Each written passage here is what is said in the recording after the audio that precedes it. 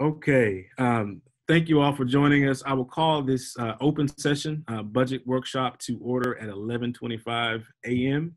Uh, the Board of Trustees was previously in an executive session and no action was taken during executive session, and there are no action items to be taken uh, here after in open session. I let the record show that trustees Barry, Decker, Carbone, Botkin, Floyd, Gooden, and Murphy are all present, and uh, we are gathered for a budget workshop. So, uh, Mrs. Uh, Carter, um, would you like to just take the floor and begin your uh, presentation, or Dr. Kelly, did you have any, you know, lead-in information, or how did y'all want to go? Uh, I think uh, this is going to be Georgiani's uh, show today, and uh, she's put together, I think, a really good presentation. Um, one thing I'd uh, ask your forbearance on uh, myself, board. I was I've already told this to Charles, but I also have an SBEC meeting this morning that begins uh, at 11:30, and and uh, I've asked that if it's possible and and everything is okay, that maybe at about noon I may wink out of this one and join that one because they've got some pretty important decisions to make down there uh, with all of us. Uh, but anyway, uh, Georgiani, uh, um, please take it away from here. Good afternoon, Mr. President, members of the board, Dr. Kelly. I am going to share uh, my screen so we can follow through the presentation. One second. And let me know if you're able to see it. Looks good, Georgiani. Okay, perfect. All right. Um, so we've prepared our first budget workshop. Um, of course, we all are aware that there are many challenges that we're going to be facing this new this next year with uh, COVID-19. Um, bear with me. So let's start by saying that this budget was uh, based on current uh, formulas. Um, the way that, that the formulas are described by HB3, we're in the second year of the biennium. So we know that nothing, not much is changing for next year as, far, as far as funding is concerned. But this COVID situation is definitely going to impact um, the, the next year, um, the next biennium mainly. Um, as of now, one of the concerns uh, for next year is how to keep the students and teachers uh, safe while delivering the instruction in a setting that provides for social distancing. Um, there's been conversation about who comes to school, who doesn't. Do we lower the student to teacher ratio in the classrooms to provide for social distancing? Um, will there be more um, instruction being delivered via uh, remote learning at the higher grades? Um, you know, what is uh, the student capacity for bus, for transporting students? There's so many variables that we have to navigate through. Um, and we'll know more, of course, as the months progress. Um, there's some talk too about perhaps losing some students to homeschooling, but the same, um, on that same end, we may also gain some students if the parents now feel like, okay, well, the district can provide more learning and I'm gonna be homeschooling them here. So there might be um, a give and take. There could be also the opportunity or the, the possibility rather that um, some parents may not may no longer be able to afford private school and we may end up gaining some of those kids in um, in our in our campuses um, so I'm going to take you through this presentation it's uh, ever evolving every day there is something um, new that we know and so of course it's going to be changing as the weeks pro uh, progress up until budget adoption. And then, of course, once it's adopted, we won't know how um, everything that is going on is going to truly impact the next fiscal year. Um, in regards to property values, you know, we'll, we'll hear that COVID had no impact on this current year's property values. So um, the value that we're given is the value that is going to be taken into consideration for next year. It may impact the future years, of course, because of the changes in the um, economy. Um, so, so far there's no talk about um, special um, session, uh, special legislative session, but uh, in January is when we'll have the session for the 2021-2023 school um, biennium, and that's when we'll know more about how this is all going to impact us in the future. All right, uh, I'm gonna start by discussing, of course, um, our funding elements. So let's start with some good news. Um, for this current fiscal year, uh, it looks like we might end up with a $3.5 million uh, surplus. There is always some savings of anywhere between a 1% and a 2% in payroll um, every year, as we know. And this year is a little bit different too because uh, there will be extra savings on some areas like utilities due to the school closures, um, some transportation expenses, some just general budget uh, items that campuses and departments may have had planned and no longer need. So we're hoping that there will be um, more savings than that. Um, for the next budget workshop, uh, when we have it, I hope to have a better estimate of how we're going to end the school year uh, for the current um, with the, the current school year. Uh, we're calculating also, working through the calculations for the fifth and sixth weeks of ADA. Um, TEA will be providing more guidance in the coming days as far as how we're going to calculate the funding for this current year, since the kids are not here and we can't count 100% um, enrollment as um, average daily attendance. So we'll be working through that. Um, and as we know, you know, as as as much as there are some savings in payroll, um, as um, we're also experiencing some extra expenditures, such as with uh, premium pay for non-exempt employees currently. So some of the expenditures will wash off, but hopefully uh, will end up in a in a very good positive um, surplus. Um, let's see. So for revenue projections, let me move to the next slide we took a conservative approach, but also a realistic approach. Um, as we all know, one of the drivers of state funding is enrollment and average daily attendance. Uh, with enrollment, we are projecting a slight growth from uh, 21,760 students to 21,934. Um, ADA, hence, is also um, increasing. This is mainly due to the uh, pre-kindergarten kids that we're expecting um, the number to increase. Um, however, they generate half ADA, so you won't see the same proportion increase um, on the um, ADA side. Um, as said before, we don't know how enrollment will be impacted. Will growth materialize? And if so, will students actually show up? or will we have lower attendance or enrollment rate, right? So there's a lot of variables. Um, there's unfortunately, well, fortunately, there is no precedent um, in history for anything of this magnitude um, that would allow us to have a clear estimate of enrollment or ADA, um, which of course in conjunction with the property values drive the state's um, uh, funding. and I'm gonna, you know, I, I did some calculations of what um, a percent, for, for example, uh, decrease in enrollment or ADA would, uh, would impact. For us, a 1% decrease in ADA is about 1.35 million. So it's pretty impactful. Um, but again, we don't know which way it's, it's, it's gonna go, right? Hey, Georgianni. Yes. I'm sorry. How, how much was that? Kind of broke up on my end. Oh, I'm sorry. 1.35 million. A one percent, a one percent decrease. And Georgiana, do we, Thank you. do we have an understanding of um, how ADA is currently being calculated within the COVID um, pandemic? Yes, um, TEA is about to release more clear guidance, but what basically what they're doing is that they're looking at the first through fourth uh, first six weeks, right? Then how they're gonna they're gonna go back to last year.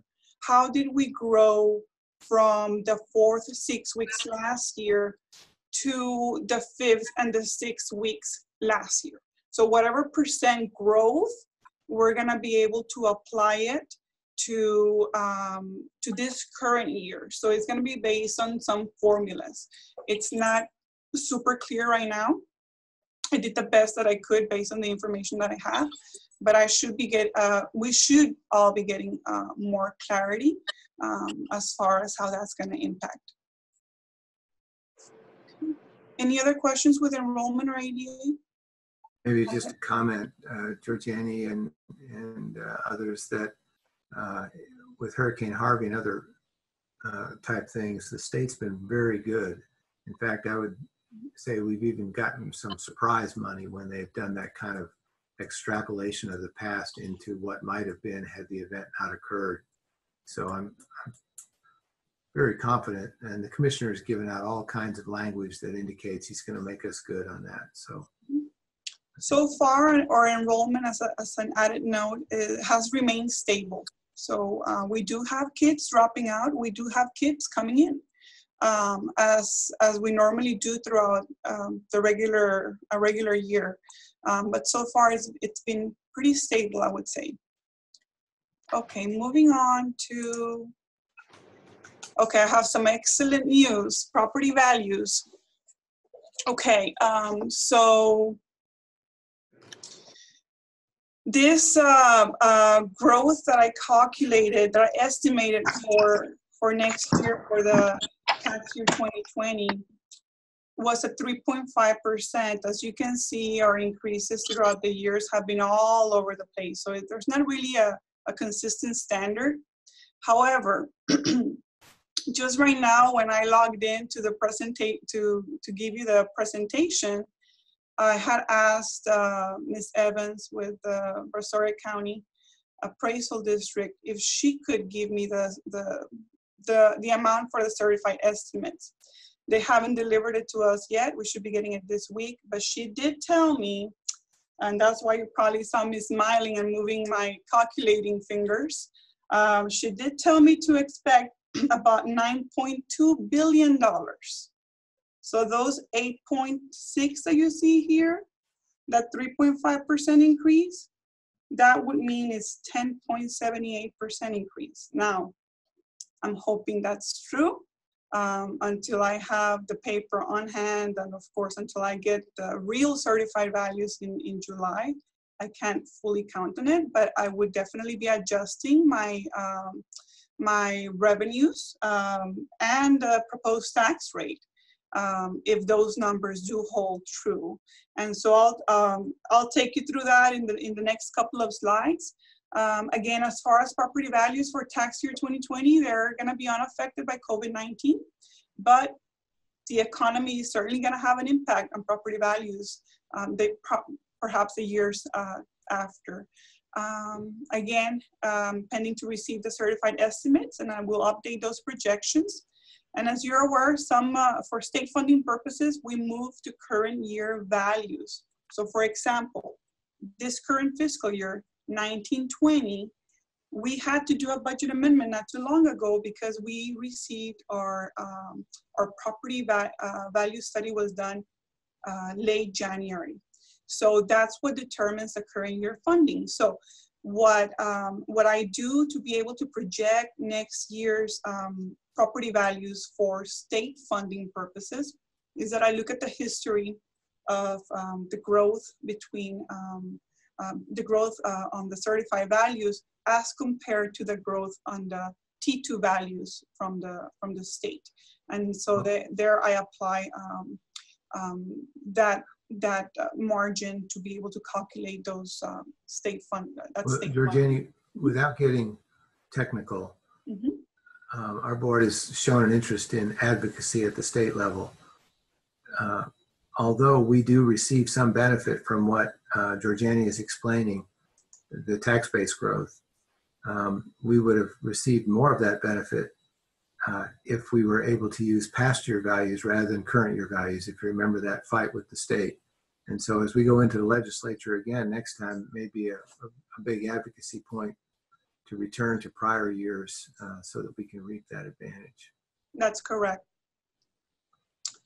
Okay, so um, um, on to the next slide. And I'm gonna show you this one is in relation to the proposed uh, tax rate. And so what HB3 did is that they compressed the tax rate. As you know, this year our, ta uh, our tax rate used to be a dollar and four cents. A dollar of it was what we call the compressed, what we call the tiered to, or golden pennies, or enrichment pennies, however way you want to call them. Um, that to 93 cents uh, this year, and we kept our four golden pennies. That compressed rate is what the state youth funding, the golden pennies are on top of it. And so um, per HB 3 um, their tax rates compress. We have we have them compressed so that we only increase by about 2.5% prepare this calculation, which by the way, I do know where you have on paper numbers. The calculation for funding is accurate. I just transposed it um, um on the slide so that you're, you're aware. If our property value grows, the state tells us that our compressed rate is going to be 0.9164. However, if we grow greater, now I'm hearing it's about 10.78%, our compressed rate lowers uh, much more. So as you can see,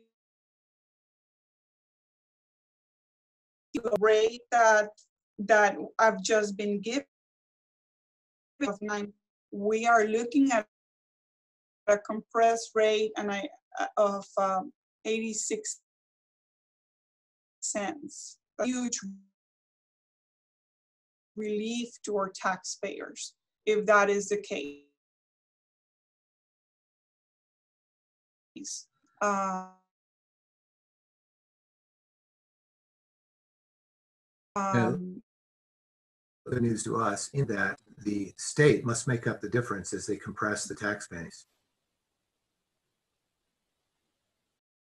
Doing in Correct. terms of golden pennies and opportunities there to both reduce our tax rate, but also get more funding. Correct. So, so that would be the great news. It would be, you know, it would have a very positive effect on the taxpayer, a much lower tax rate. That is really the only way that our taxes are really going to drop.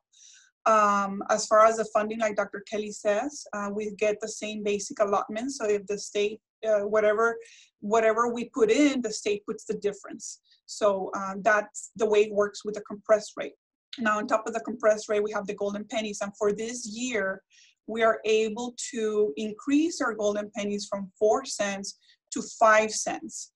And we really have to take uh, a, a advantage of this opportunity. We don't know how the legislature is going to change for the next year.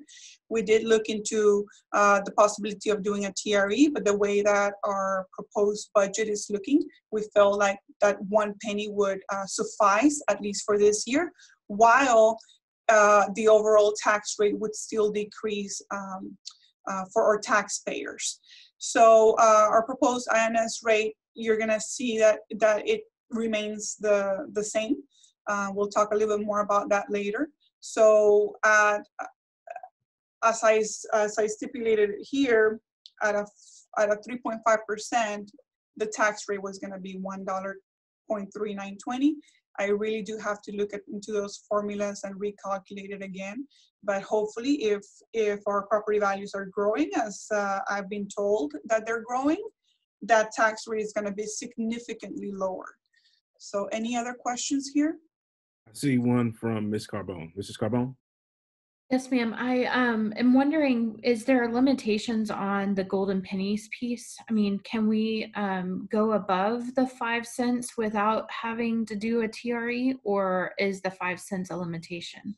The five cents is the limitation. They're allowing us one cent without doing a TRE, and the way it works is that it, it requires unanimous uh, board approval um, to be able to get those that fifth golden penny. Mhm. If we were to do a TRE, um, that would allow us to, you know, we, we could go up to 17 cents with a TRE only. We would have to do an efficiency audit. We would have to be starting the efficiency audit sometime next month in order to meet the timelines.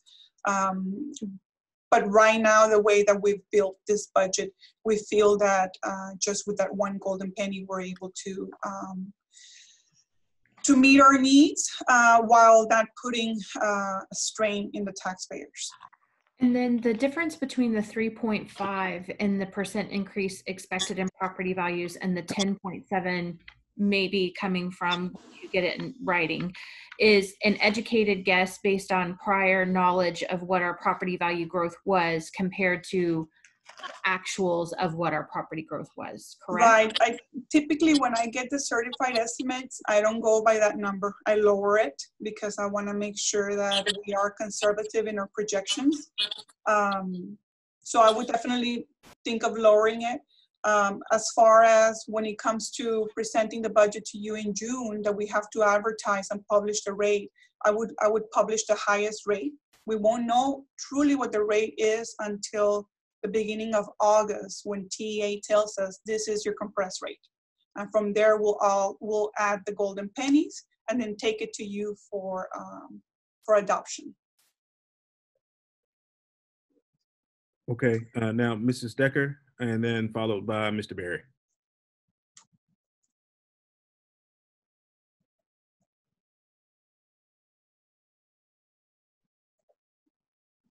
Rebecca, would you start your comments over? You were mute. Sorry. Hi. um, we've been talking about the TRE for at least the last couple of years, and now um, with you saying we're going to be okay this year, but then you also had stated that um, in the next couple years are are you know are so it's kind of sketchy looking, right? So is that something that we're going to end up having to do next year, and should we start thinking about the the TRE for the following biennium as opposed to you know this next school year? For this next school year, we can we can certainly say that we're we can be clear of the TRE, so we don't have to consider it for this school year. Uh, for next biennium, it's very likely that funding is going to be greatly affected, and we may need to look at the TRE. Okay. Pretty likely going to be looking at the TRE, but we won't know that until the legislate uh, until the legislative session starts and they start the conversations, and we know more about how all this is affecting the state's budget. Thank You you. know, the uh, comptroller, uh, one of the things he said was uh, anticipating a 20% cut for basically state services. Uh, Whether that hits education or, I wouldn't imagine it would hit 20%, but it will hit very high. Uh, You know, of course, the other major concern in the state budget is human health services. There's the other huge uh, bite of the state's budget. And of course, those needs will be greater than ever with uh, COVID 19. So we're very safe uh, for the coming year. Uh, the question is beyond the coming year, what do things look like, knowing that the legislature will come in with a mantra to cut, cut, cut?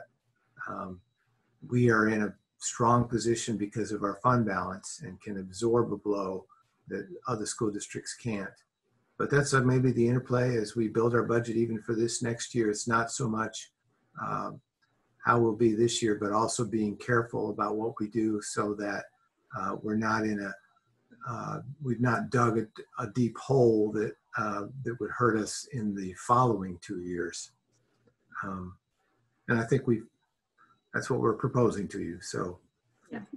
Dr. Kelly, uh, one other question, uh, Charles. Um, I, you know, I've been reading too that the the governor um, currently is asking his departments within the state to actually start doing cuts that could actually affect us in this next school year.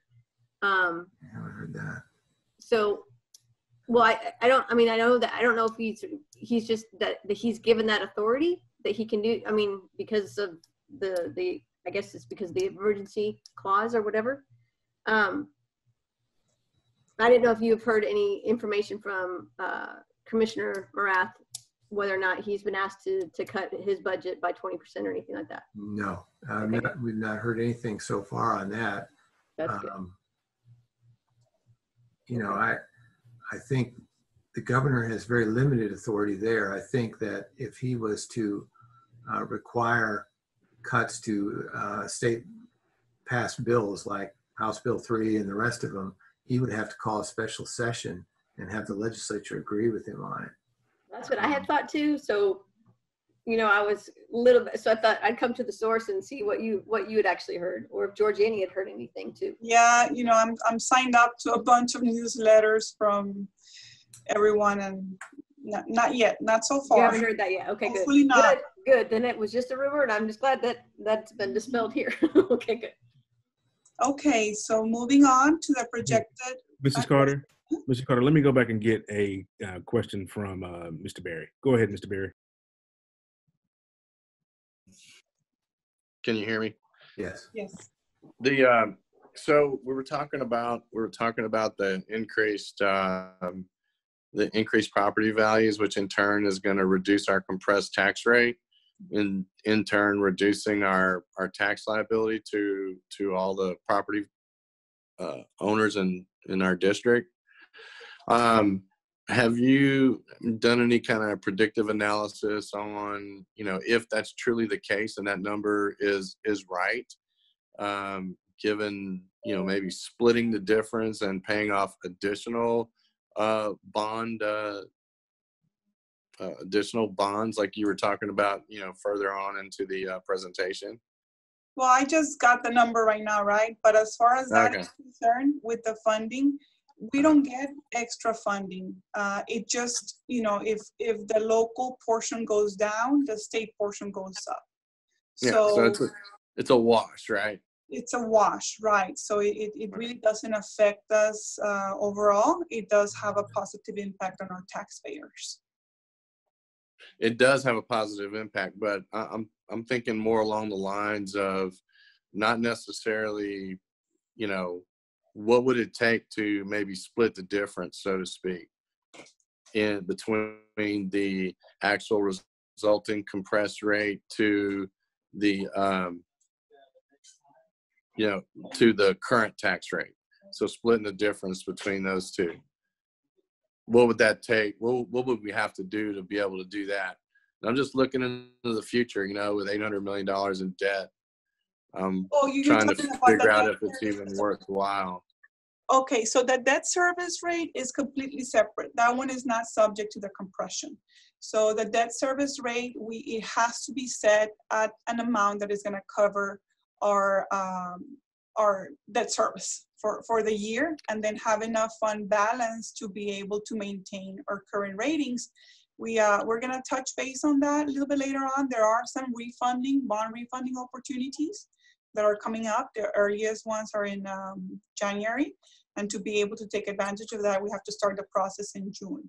And so June of this year. So there, there will be some um, um, discussion about that, but that's uh, separate. Jeff, is your question more about on the um, M and O side, splitting the difference and pot- potentially going for a TRE now that there's a, a, a decrease in the overall rate? Well i mean that could be that could be a, one of the solutions um, because we can move money from m and o to ins but just not the, the other way We, we can't, so we can't raise the M and O rate for the purpose of paying debt. That was something. well if we if we did the tre we could That was something. we would have we would was- have those of that ability Uh, I'll need to research a little bit more, but I believe that as part of HB three, um, they're prohibiting us from doing that. Um, But I'll research more and definitely bring it to the next budget work, work session. But I guess the other side of that and the the fact that we're seeing such a drop to taxpayers if we split the difference and went for a TRE now versus them seeing a huge drop and then us going back and asking for more money later. Right now we can still I mean Right. we're st- they would Right. still be seeing a drop and yet we would be accumulating 2.5 million dollars for every TRE penny we ask for above the 5 cents is there any benefit and advantage to doing that now versus waiting for that huge drop and then asking for it later? Definitely. that's right That's, uh, I mean, you're hundred percent correct on that, and, you know, we can definitely talk about that. Um, Dr. Kelly, any input? I can't hear you, sorry. Yeah, that's uh what uh, Jeff and Crystal there are saying is uh, legit in that, you know, from a political point of view, if the overall tax rate is low, that's the optimum time Right. to uh, ask the people for a portion of that to go up. Um, as, as you, I think you get later in the presentation, you can talk about refinancing options, which affect the total number of pennies we need. Brian asked to con- contribute to that. Uh, but I, right now, the other concern I bring up is purely political, and that is it's going to be hard enough for board elections in November in the sense that uh, our, we're told that our particular race is at the very bottom of the ballot. And so relying on a TRE during a presidential election is iffy. Um, may not be true for May of May of 2021, but um, the problem there is that if the legislature comes and changes the system again and doesn't give you those advantages, it, it'll be hard for us to know right there in January or February whether we would benefit or whether they're once again changing it or no longer compressing tax rates or something like that. But I agree with Crystal 100%. This has been my mantra for many years.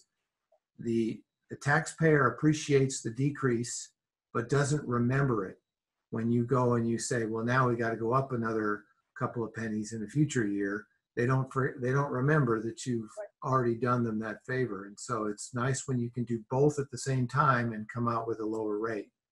But if the advantage to doing it now is there wouldn't be, um, even if the TRE didn't pass for some reason, which historically our community is very supportive of supporting educational needs. I would think, especially in light of COVID and the extra needs coming from that. Um, but even if it didn't pass, we would not be hurting per se. Um, it would still be like tight and we'd be watching our pennies, but we wouldn't it would not hurt us as if we were waiting two years down the road and the TRE is not passed, then we're in a pickle. Well, that's good thinking. I mean, I hadn't really gone down that road very far, but that's not bad thinking, really. I had been an advocate of exploring a TRE and had been tracking the whole thing with the Legislative Budget Board uh, producing their, you know, performance au- performance audit measures or steps, and was really excited about pushing that. And but for me, one of the other issues is that you know now you're talking about a a tax increase, and who knows what the the broader economy is going to look like, right? We've got the tax values, right, which is a huge increase, right? That looks great, but I mean, as far as just you know the the cash flow, the, the economy of the individual taxpayers, you know, that's we got to take that into account. And then for me, a tax rate, a- a TRE or an increase in the tax rate, kind of has to be connected to a vision for what we want to do with the district. And for me, those things have been, you know, always we want to talk about compensation and being able to be uh, competitive with um, with you know surrounding districts and you know and and things of that nature. And also, we've talked about block scheduling, and we've talked about uh, the the issue there is that you know well number one you got space for a lot of extra teachers and then you also talk about uh, you just got a lot of extra teachers. And i think the number that dr camp came up with was, was almost $3 million uh, additional on salaries right? And then we talk about other stuff that we have like school start times which we identified what the constraints were there. I mean the tre can't completely fix that but i mean just building that into our thinking as to why we would want to increase the tax rate, I think is extremely important. Well, Well- that's the only way to generate additional revenue for us. Right, right, right. But it, but I but I mean, my my message to the community would be that we're not trying to generate additional income to the district just to generate in, Right. extra income to the district. There's a vision tied to it, right? Your schools are going to be what we think or is, is better uh, because we're going to have these additional funds and we're going to do you know whatever these things are. Lower Uh, student teacher ratio. Let right just lowest put that. yeah, exactly right so it all to me has to be tied to a vision you know so that that's just my thought and it may there's a lot of different things to uh, consider right here you know because of the economic situation that we're in um, you know, that maybe we do, maybe we don't, but I, I think it's something we continue to discuss. Well, you know, Well, you know, the thing about it is too, Charles, is Mhm. is we also need to understand our eight hundred million dollar debt. So we need to always keep in mind, in the back of our mind, we can't do any of those things you talked about unless we control our expenses and control our budget. Mhm. And then we have the wherewithal and the freedom to go and do all those those great things you were just talking about. But it starts at our budget Mhm. And you know the TRE is not going to be a tax increase or a tax burden per se to where we are today. It's going to be a you know at best you know it's still going to be potentially a decrease, just maybe not as much of a decrease if if we're thinking about doing it. You know my question earlier. So uh, So I I If we could agree there needs to be a vision, but Yeah, I mean, if we could have a quick conversation about debt, um, Mrs. Carter, does do school districts pay debt off early? And my understanding is that it's it's just not that kind of you know th- that's not the way it works. but Right. yeah, Um, we're talking about managing debt, and because uh, you know, yeah, I- I'll just leave it there and, and ask you that question. No, typically we don't pay it off early. Um, the, what we're presenting to you, uh, it's some bonds that are actually callable already. We Mhm. can call them already. Um, I will have John Roebuck. Um, I, I don't think he's able to join us today. I had invited him, but he had already uh, another scheduled meeting. But I will have them at the next uh, work session. That way he can provide some insight, some more insight in regards to the bond side. So you made a comment, Georgiani, about you typically don't pay them off early, and my my question to you is why?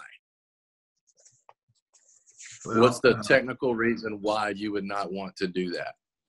no- And I'm not saying be a hundred. I'm not looking at being debt free per se because we're always going to have some sort of debt. But man, reducing our if you look at our if you look at our uh, our debt service out to 2035, you know it goes you know from 38 million to you know 15 18 million. That's a pretty substantial amount where we would have we would we would have a lot of taxable flexibility for for the property owners of Pearland ISD. So I'm just I'm just wondering Normally. why would you not want to pay off debt?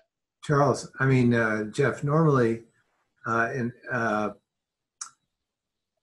bonds that are callable can be paid off early and refinanced. Um, there are restrictions on some bonds in terms of paying them off early. And I think that's been my experience. Now, John Roebuck, he can give us a lot more guidance as to the kinds of bo- bonds we have now. We have bonds going back to the 90s, and some may have uh, abilities to do things and others may not, but I'd, I'd have to defer. Right. to- Yeah. Right. I, I completely understand that process. That's I'm gonna not not the question. Yeah, let me That- that's not the bit more. And, um, and I'll, at the next budget workshop, we'll go further into that. May I make another note here? I think whenever the refinancing happens, we're going to be holding that debt at such an inexpensive rate that the value of the money that we would have to spend and the would be greater than because of the rate being so low on the debt holdings that it seems like we would have a greater benefit in the spending capability of that money than the cost of what it hold what it costs to hold that debt. That's why you refinance. Yes, I'm gonna have. I mean, that's- I'm That's have the reason. research A little bit more. Okay, I, I I appreciate this conversation. Let's let's let's let's give the floor back to Mrs. Carter to move that back. But what I what I'm thinking is that we, we still have to understand, and let me know if I'm off base here. We still have to understand that the the two sides of the tax rate are not interchangeable, No, right? So you know, I cannot manage my M and O to generate extra dollars to pay off debt, right? And I cannot manage my INS to generate extra dollars to pay off debt because that has to be set at what it has to be set at. Am I correct? Right. Yes, and the legislature just strengthened that in the last session to keep people from doing that. Okay. Okay. Well, Okay, great. We- We can, we can uh, continue to clarify that. Uh, Mrs. Carter, we'll hand the floor back to you. Thank you. I took some notes. So I'll take a, I'll make a, one comment is, is that the reason why we're able to reduce and refinance is because we do have more money on the tax-based side, which ultimately becomes part of the M and O side. So Okay, that's not quite true. what's not quite true? we can manage our M and O side, given a surplus on our M and O side to move money over to potentially pay off and or refinance bond obligations as they come avail as they come available. It, in the past, the last couple years, it, interest rates were too high. It didn't make any sense. But now, as interest rates are going down, that's why we're now we're now we're talking about refinancing those bond obligations and if we would have had money on the M and O side today, we would we would be able to put more money down on the re- refinancing of those bond obligations. So that's my point. That's all I'm saying. I'll, I'll do a little bit more research. There was definitely some changes with HB3, but let me do my research. Um, Okay. I wasn't prepared to discuss uh, that, but I will. No worries. No worries. Okay. Thank you. Um, okay. Thanks, Georgiana. Yeah, Sure, thank you. Uh, Moving on to the projected revenue changes from where we're, at- from where we're at right now. On the local side, uh, property tax collections at the 3.5% property value that I calculated were uh, 2.6 million. Investments, we all know that interest rates have dropped significantly, so I'm expecting at least an $800,000 uh, drop in, in, in interest earnings. Um, in the state side, um, because property values are going up, um, and because ADA, we're not growing significantly, really, is because of the ADA. Uh, we're only expecting about a $655,000 increase in state funding. Um, and that is inclusive of the extra penny, the fifth golden penny, these calculations, okay, just to clarify. Um, on the federal side, we're still calculating uh, this year's SHARs, and once we finish, we'll know a better um, accurate amount, but we're expecting uh, no change on the, on the federal revenues for next year. So overall, our total revenue increase is about 2.7 uh, million dollars. Um, when you compare it to where we're at right now, to next, uh, to what we're budgeting for next year. Okay, um, let's discuss a little bit deeper the state and local funding. This is about 87% of our revenues are driven by the formula, uh, by, by the state funding formulas. So our local property values at, uh, at, at, at the established rate are 78.7 million. Uh, out of that, tier one is 76.5 million, and tier two, which is your golden pennies, is 8.6 million for a total of 163.7 million.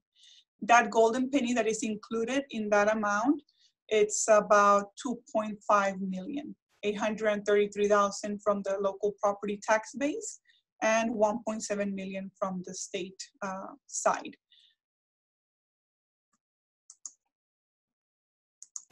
Any questions with uh, revenues? I'm gonna move on to appropriations. No, thank you. Okay, so uh, budget priorities, of course, to be able to develop the budget, we looked at our, our goals. One of the things that we're doing this next year is establishing full-day pre-kindergarten program. So of course, last month, we already brought to you some additional positions uh, for teachers for moving, them, moving us to a full-day pre-K program. We are, uh, another budget priority is to provide a competitive employment compensation package and increase um, the support towards the employee medical premiums. We also want to make sure that we provide funding to support our world-class goal initiatives. Last year, we developed a brand new uh, set of uh, goals. And so we're trying to uh, accommodate um, some expenditures that are needed to be able to accomplish those goals. And of course, provide funding to support HB3 mandates.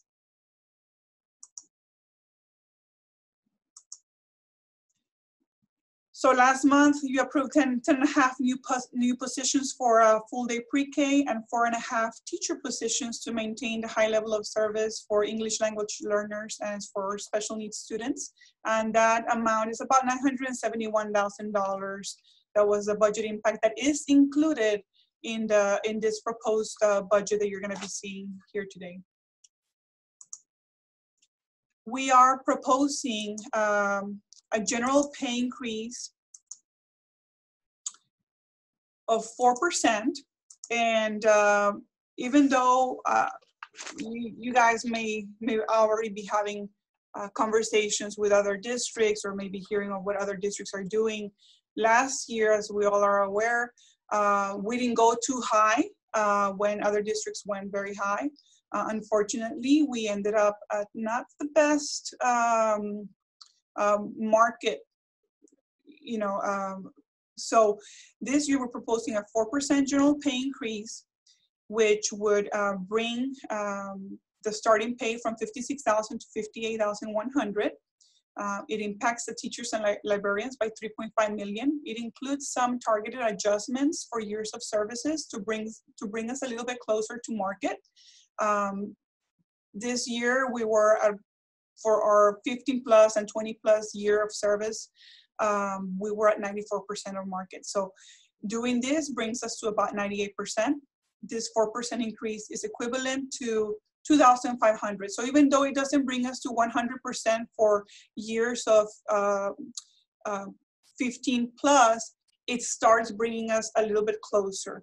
And so um, the offset of not doing this is that next the next year would be even further behind and even harder to catch up. So this is um, this is a great uh, opportunity to, to catch up with the rest of the districts. On the professional support for uh, for our professional staff, counselors, nurses, special programs, um, that four percent is is equivalent to 1.2 million, and for our paraprofessionals is 1 million. So the total 4% increase is equivalent to 5.7 million, and that includes, again, some targeted adjustments for years of service. Anything that you, anybody wants to add there? I see a, a hand up, but I don't hear anything. Uh, Ms. Carter, Yes. can you, or maybe um, Mr. Moody can, can you break down what, I know that we have the 4%, but then what is the actual uh, amount of the targeted adjustments taken out of that?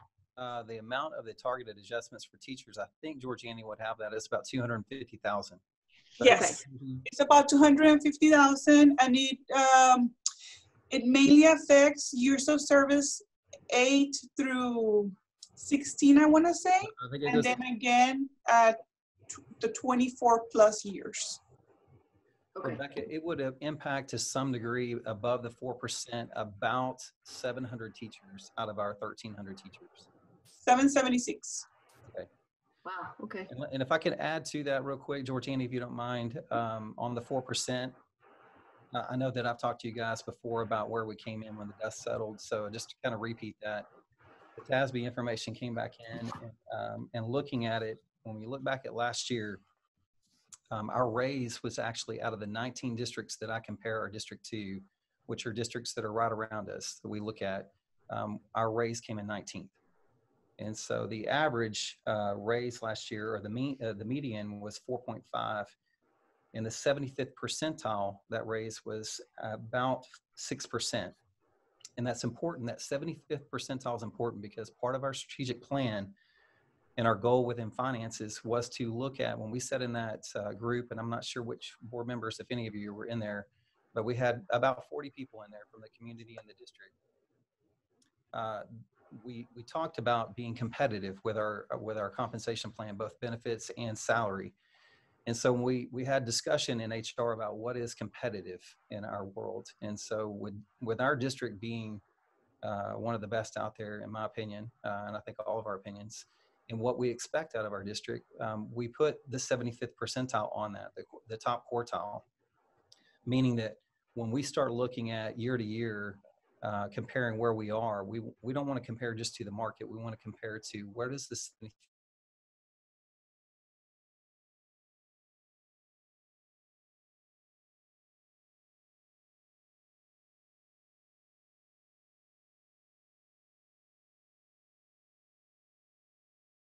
this base.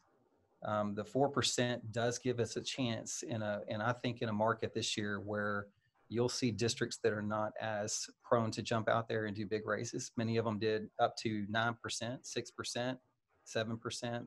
I, d- I don't see that happening this year. So we get a chance to catch back up a little bit.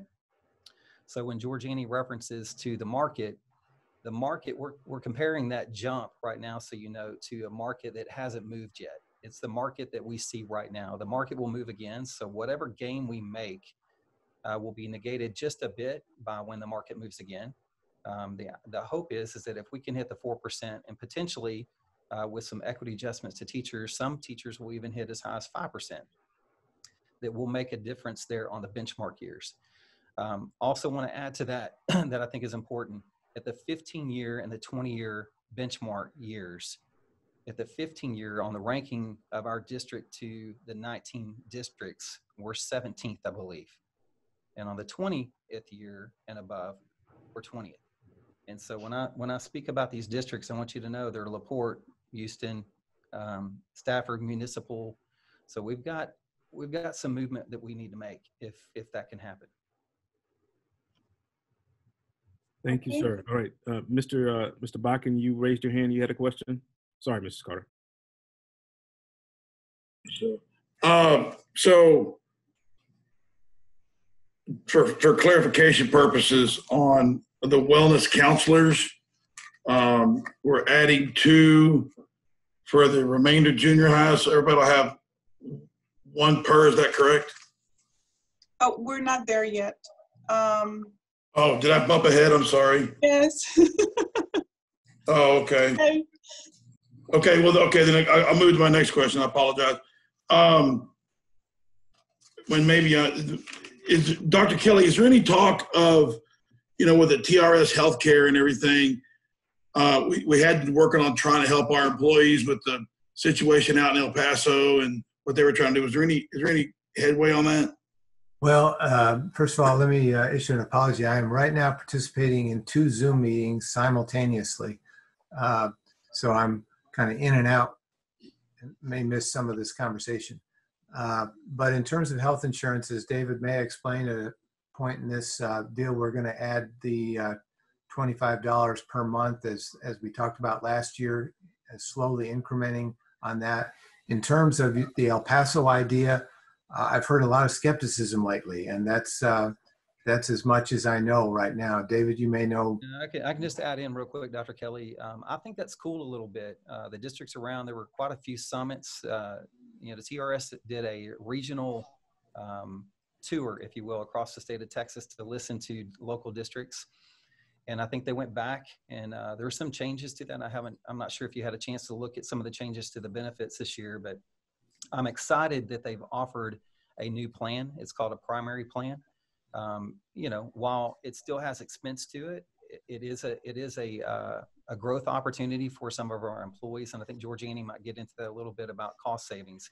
But if you, for example, if you were on the current select plan right now, and you were to decide to go to the primary plan, plan because they're very similar, um, you have the ability to save quite a bit of money depending on where you are. So when you couple the potential savings on our plans this year that, that are offered by TRS, right?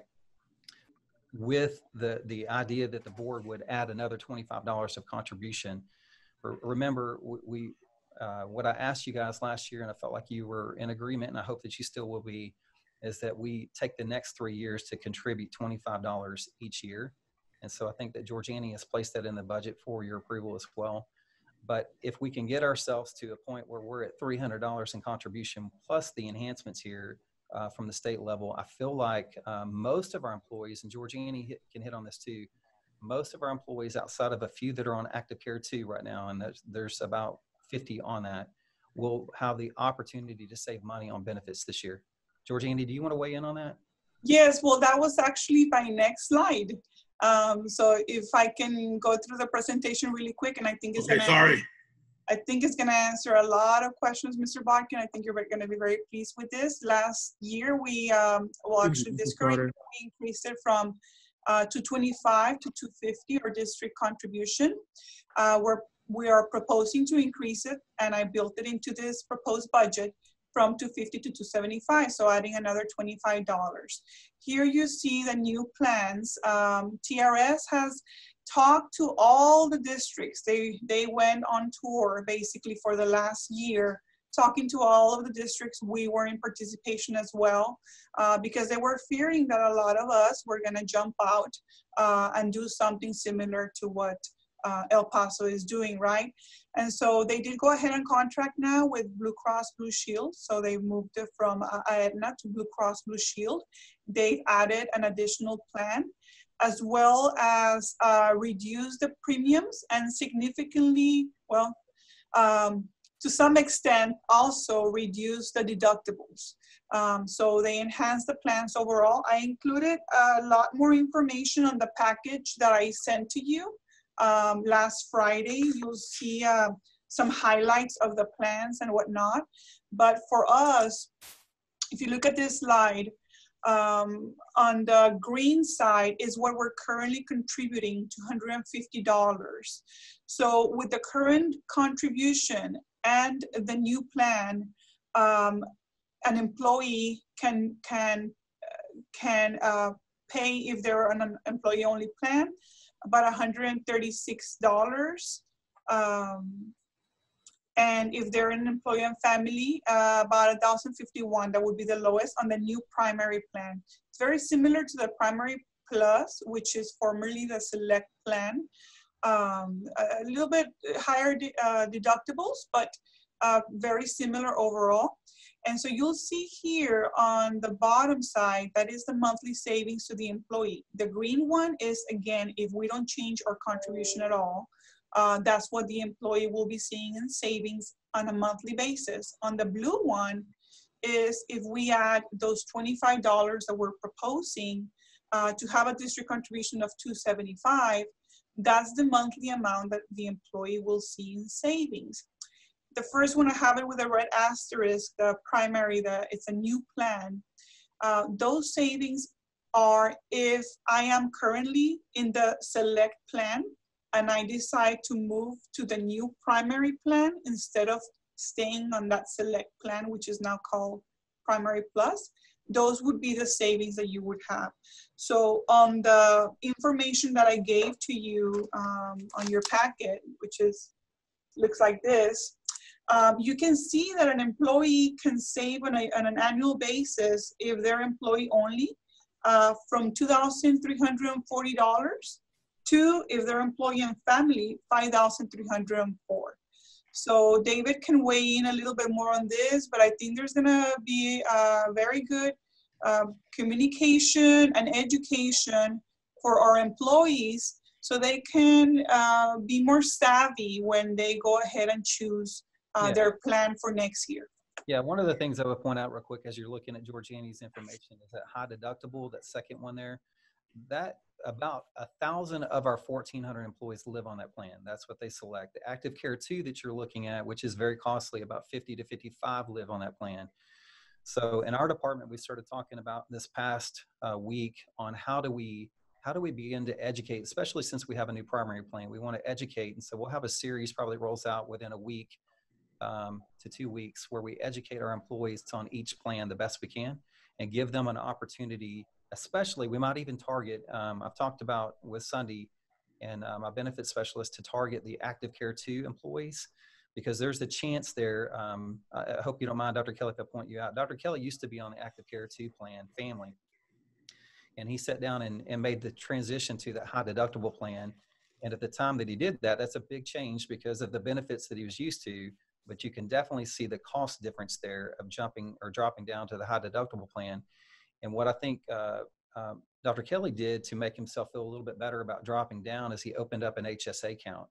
And um, so we've got to, you know, do do some things like that. We educate our employees that there's coverage here um, and there's opportunity to save money here. At the same time, if the district can continue contributing, we have maybe potentially one of our better years in insurance that we've had in a long time. That's that's my thought.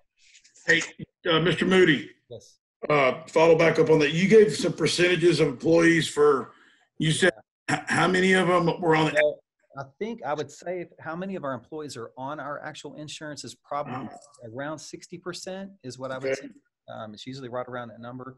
And uh, going off of the numbers that Georgiani provided, which I think are, are fairly accurate, uh, our, our high deductible plan is 1046 The select primary plan, or the select, which will end up being that primary, plus 288 which will now have the option that 288 employees, when we start talking to them about, eh, eh, you know, the high, the primary new and the primary plus closely align in a lot of areas outside of like Georgiani said, the deductible was different on that primary new. It's, it's a little higher and there's a copay to it. But we can look at that 288 uh, group of employees and start trying to educate them on, would you be interested in the primary? Yeah.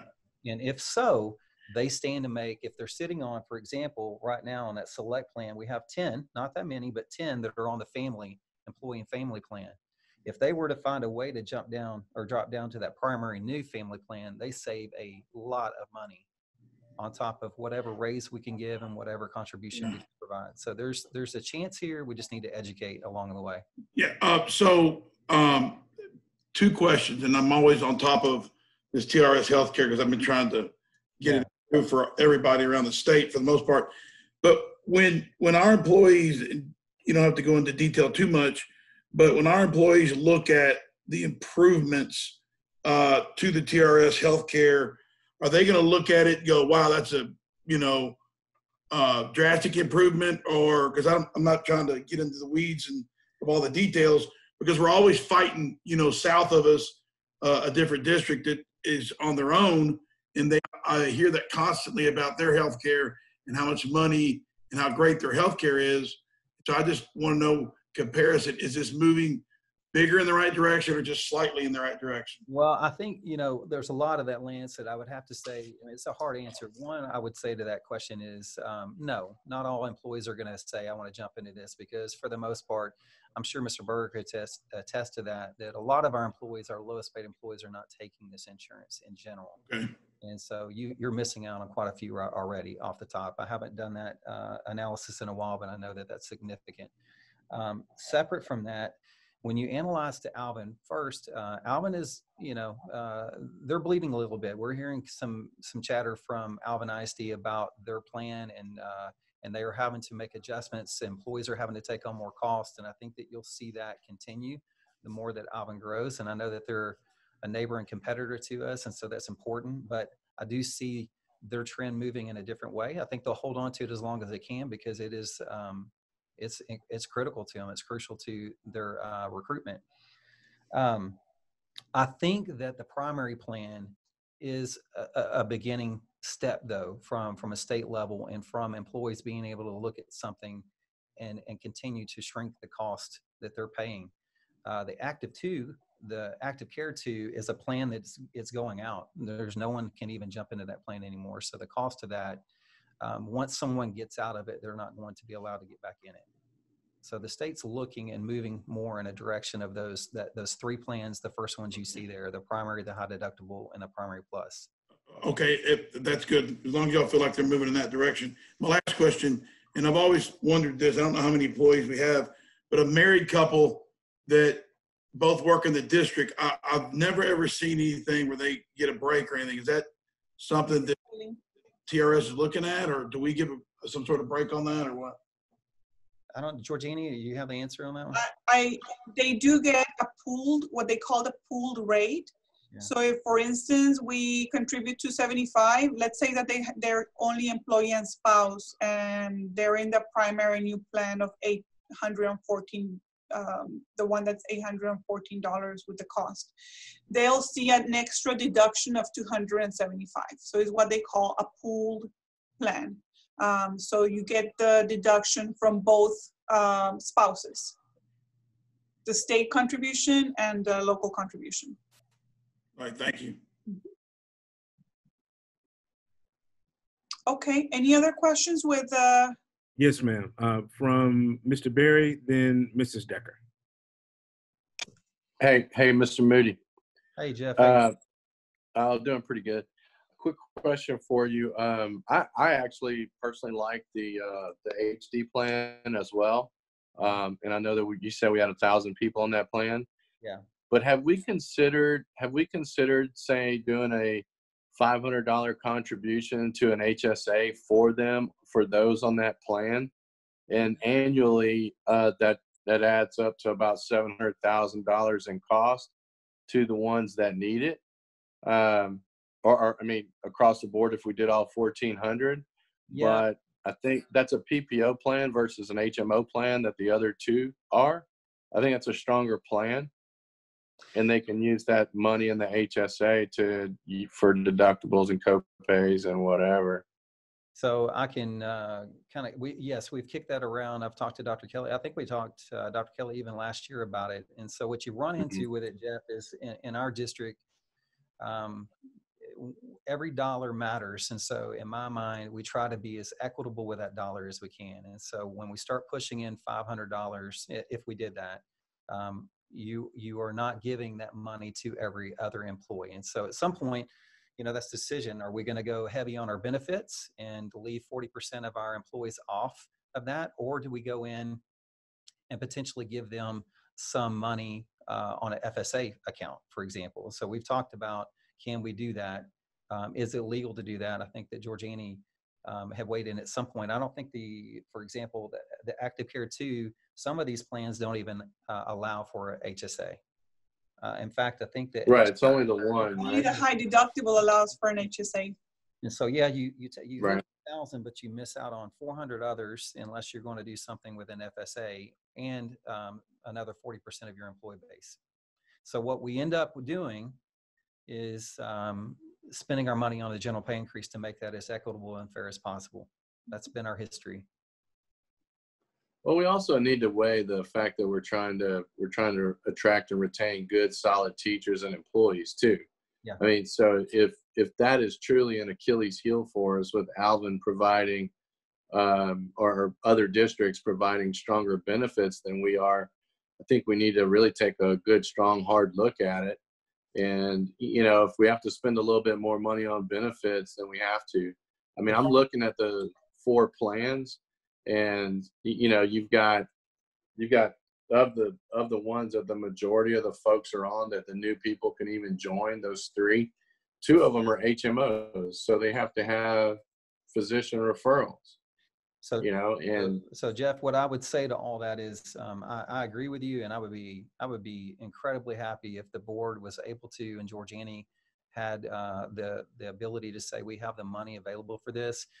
I think our first, uh, you know, we have all these talks, and and through the years, I listen to all of them, and then we sit here, and in the end, our first goal should be, in my mind, to contribute more um, because when we line up against other districts, that's where it's you show that we we haven't contributed as much. And so, even if this year, you know, last year I think Sean kind of kicked it around at the last board meeting of you know should we do 50 rather than 25? And so, if money is available and Dr. Kelly approves that, and we're able to jump out there and do $50 contribution, that gets you closer to 900,000 and I think $300 contribution puts you in a really good spot for our employee base. It's very competitive. That's the first thing I do. Unfortunately, we have two issues at play, which one of them I shared earlier is the actual compensation, the salary piece. So, uh, from a from a recruiting point of view, I've taken the approach of let's try to get the the raise uh, in, in a good place because we didn't come in a good when the dust settled, we didn't come in a good spot last year.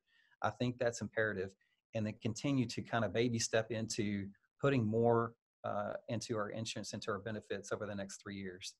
But if the board finds the available funds to put fifty dollars in this year, I think that's even a, a bigger win. i would like i was per last last comment i would just like to see that employee only contribution be under a hundred dollars That would be awesome. Uh, hey, well, that was that's all i'm thinking um, well, I don't for Dr. Clarify Kelly, that, You said under a hundred dollars?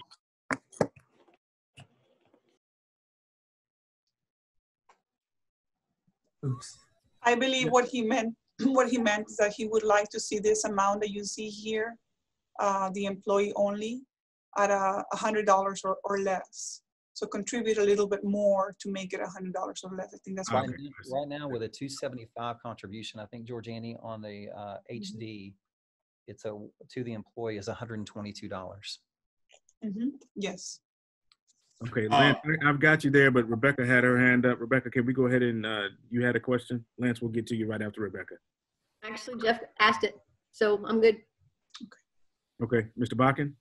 Yes, um, how do we, um, I don't know how, how this looks. but You made a statement earlier about, uh, Larry Berger's, uh, uh, some of his employees and things like that. Um, how do we, and maybe Jeff was going that direction, but how do we get them to, you know, it, it pains me to feel that, you know, people who don't choose our insurance, at least they're maybe choosing their spouse's insurance, right? And so, you know, I would want everybody to at least have the opportunity to get our insurance because it's affordable um, and it's going to help them and their family. How do we, you know, get to a point where we try and get everybody at least, you know, wanting our insurance? And I know it's a cost thing, Mr. Moody and Dr. Kelly, but, you know, does that make sense what I'm asking? It does, but I think to do that, and, and Dr. Kelly could weigh in here again. We've had this same conversation probably two years ago about what can we do, but you get into a legal position where it becomes a what what is considered a competitive plan, and so we've talked about um, how can we piece together something that allows for something uh, for that employee base, and um, it it becomes that we need to go out and get a self-funded plan. That's probably one of the only ways we can do that, and it is expensive. Uh, I think Georgiani's total budget for what we contribute right now is 4.7 million. I don't know what that's going to cost the district to get out to a self-funded plan, but I continue to say that it's going to cost you probably at least three more million, at least that much, to come up with in our budget to provide that kind of service that you're uh, support you're wanting, uh, Lance. Now, there's other things that we possibly could do um, where we could look at some of our sup- supplemental insurance and and see if uh, we want to take on some of that for that employee base and we want to Yeah. pay for more for say vision or dental uh, those are things we can always look at So, you know, inside of our own employees, know the exact numbers. I'm sure we do, I guess. How many and the reasons why they don't choose our insurance, or um, have we done a survey? I, I mean, I don't know. Maybe I'm reaching. no no How do we I, get the data on that. Lance, I haven't done that, but that's something that we can do pretty quickly. Um, I would think for the most part, on the lowest paid employees, um, uh, Larry, I'd hate to have you jump in here for something you might not know, but I know that you're connected to that group. I, I would think that it would be uh, more a cost issue. Yes, sir. Uh, it is, it's, it's basically, uh, I, I don't want to say 50 50 because I don't have the exact numbers. But the ones that I talk to when I do speak to them, they either work and their paycheck goes to pay for the insurance only, and that's why they are working to pay for the insurance, or they do not carry the insurance because they cannot afford it because they're the sole provider for the family. Thank you. So we can do some more analysis on that. Um, just just Hey. recognize that anything we do there is going to cost Yeah. money. Yeah, uh, and yeah, I understand. Hey, Jeff, you know, you- you're the resident uh, uh, insurance guru. How do you, how does the district address a certain set of employees to help? Um, I mean, I don't know. I don't- how does that look? You know, is there a way to like supplemental insurance or something, or give them something, right? Well, they're usually companies like large companies that have um, lower lower paid employee, like a wide ber- uh, girth of employees. Um, under under the Affordable Care Act, we had to provide what they call MEC plans, minimum essential coverage plans, and they're about 120 bucks a month. But they provided the 10 essential coverages uh, for uh, those employees. Now we we're not we're not in we don't have that issue, but that would be a plan that's outside of TRS. And I don't know how that would really look. You know, I don't know that we can even do that. But like David said, you know, we could look at our ancillary coverage uh, through whomever it might, what companies, you know, Transamerica or whomever, uh, Colonial, whatever, you know, those guys, and um, you know, figure out what it is we can do about providing like critical illness coverage and you know hospital confinement coverage and things of that sort but there's still a cost associated with that and what you know what i've seen over the years is that the lower lower paid employees of a company regardless of the company whomever it is they just really don't see a value in it. Uh, they don't want to spend, uh, you know, $120 to somebody that makes $10 an hour is a significant number. So they wouldn't pay for it anyway, and then the district would wind foot in the bill for the whole thing. I just did the calculation; it's about one hundred thirty-two thousand dollars, which isn't that much for a district our size. But I just took the other eleven hundred employees that were not on the plan, and you know, just multiplied it times one hundred and twenty dollars. Well, Mr. Moody, Mr. Moody, it would be interesting to know why, you know, just to, like I said, the survey to figure out, okay, this person's taking insurance because their spouse, this person's, it's not affordable, just to, so we can gauge and move forward because we, we identify the problems, maybe we can help out a certain group of people in the future if we're going to, because I'm all for what Jeff said, just trying to contribute more and and because it, it's the way it looks. It, it shows that we care. It shows you know a multitude of things. And so i'd be interested in seeing something like that That's doable. I'll, I'll look into it. Okay, Mrs. Carter, the floor is yours again. Thank you. Okay, moving on to um, some of the non-payroll budget changes. So um, over the last year, we've been very aggressive in renegotiating a lot of our a lot of our contracts. Our electricity is uh, a major one, and uh, it's planning to take effect um, in June. The new rate. I can't remember the percent decrease off the top of my head, but it's going to generate a lot of savings. Um, we've been uh, contact, uh, you know, with workers' comp. We're going to be bringing it to the board next month. We're going to be expecting some savings as well. Copier contracts, you know, a variety of different contracts that we've been re- renegotiating um, pretty aggressively, and so we're looking into having a lot of savings there. Um, we've also included some uh, startup costs um, for um, for for different initiatives that we have out there. As we know, the bond program did a lot for us, but now the general fund starting to have to carry on with the recurring uh, expenditures, right? Uh, welding and the and the culinary program, you know, CTE programs, um, they need funding for for their supplies or materials, so uh, we're providing some funding there. Uh, we're also allowing uh, this year for for the campuses to roll over uh, up to 10% of their budget because they kind of ended uh, the year um, early. They have quite a quite some money left over, and I don't want them to spend it just for the sake of spending it. I want them to spend it if they really need it. But if this incentivizes them to carry it over to next year, I'm allocating uh, about 10% for next year, and that's about $250,000. Um, band and drill team uniforms. This is about the time that we need to uh, rotate them. So that's about 150,000.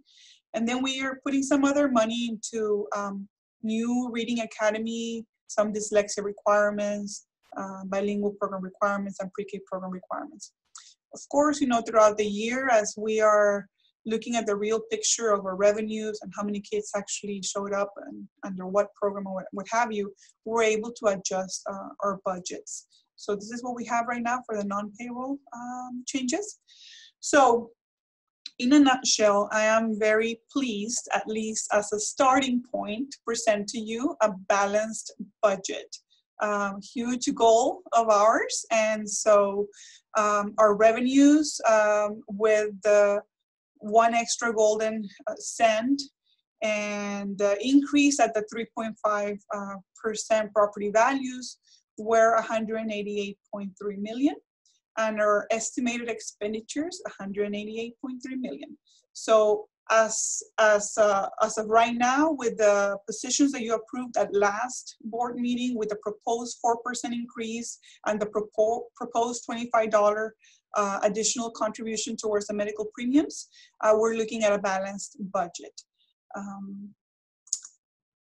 Janie, can I jump in and ask a question real quick? Going back one slide on the non-payroll budget changes. Um, as we did budget requests from different campuses and principals over the year, were there any outstanding requests um, that seem significant in value that are not included in this um, in this slide? So the most significant are here. Uh, a lot of them, and I'm about to reach out to them this week, is that if I can fund them with this year's budget, and I tend to do this around this time of the year, I fund them uh, ahead of time, especially if they're one-time cost.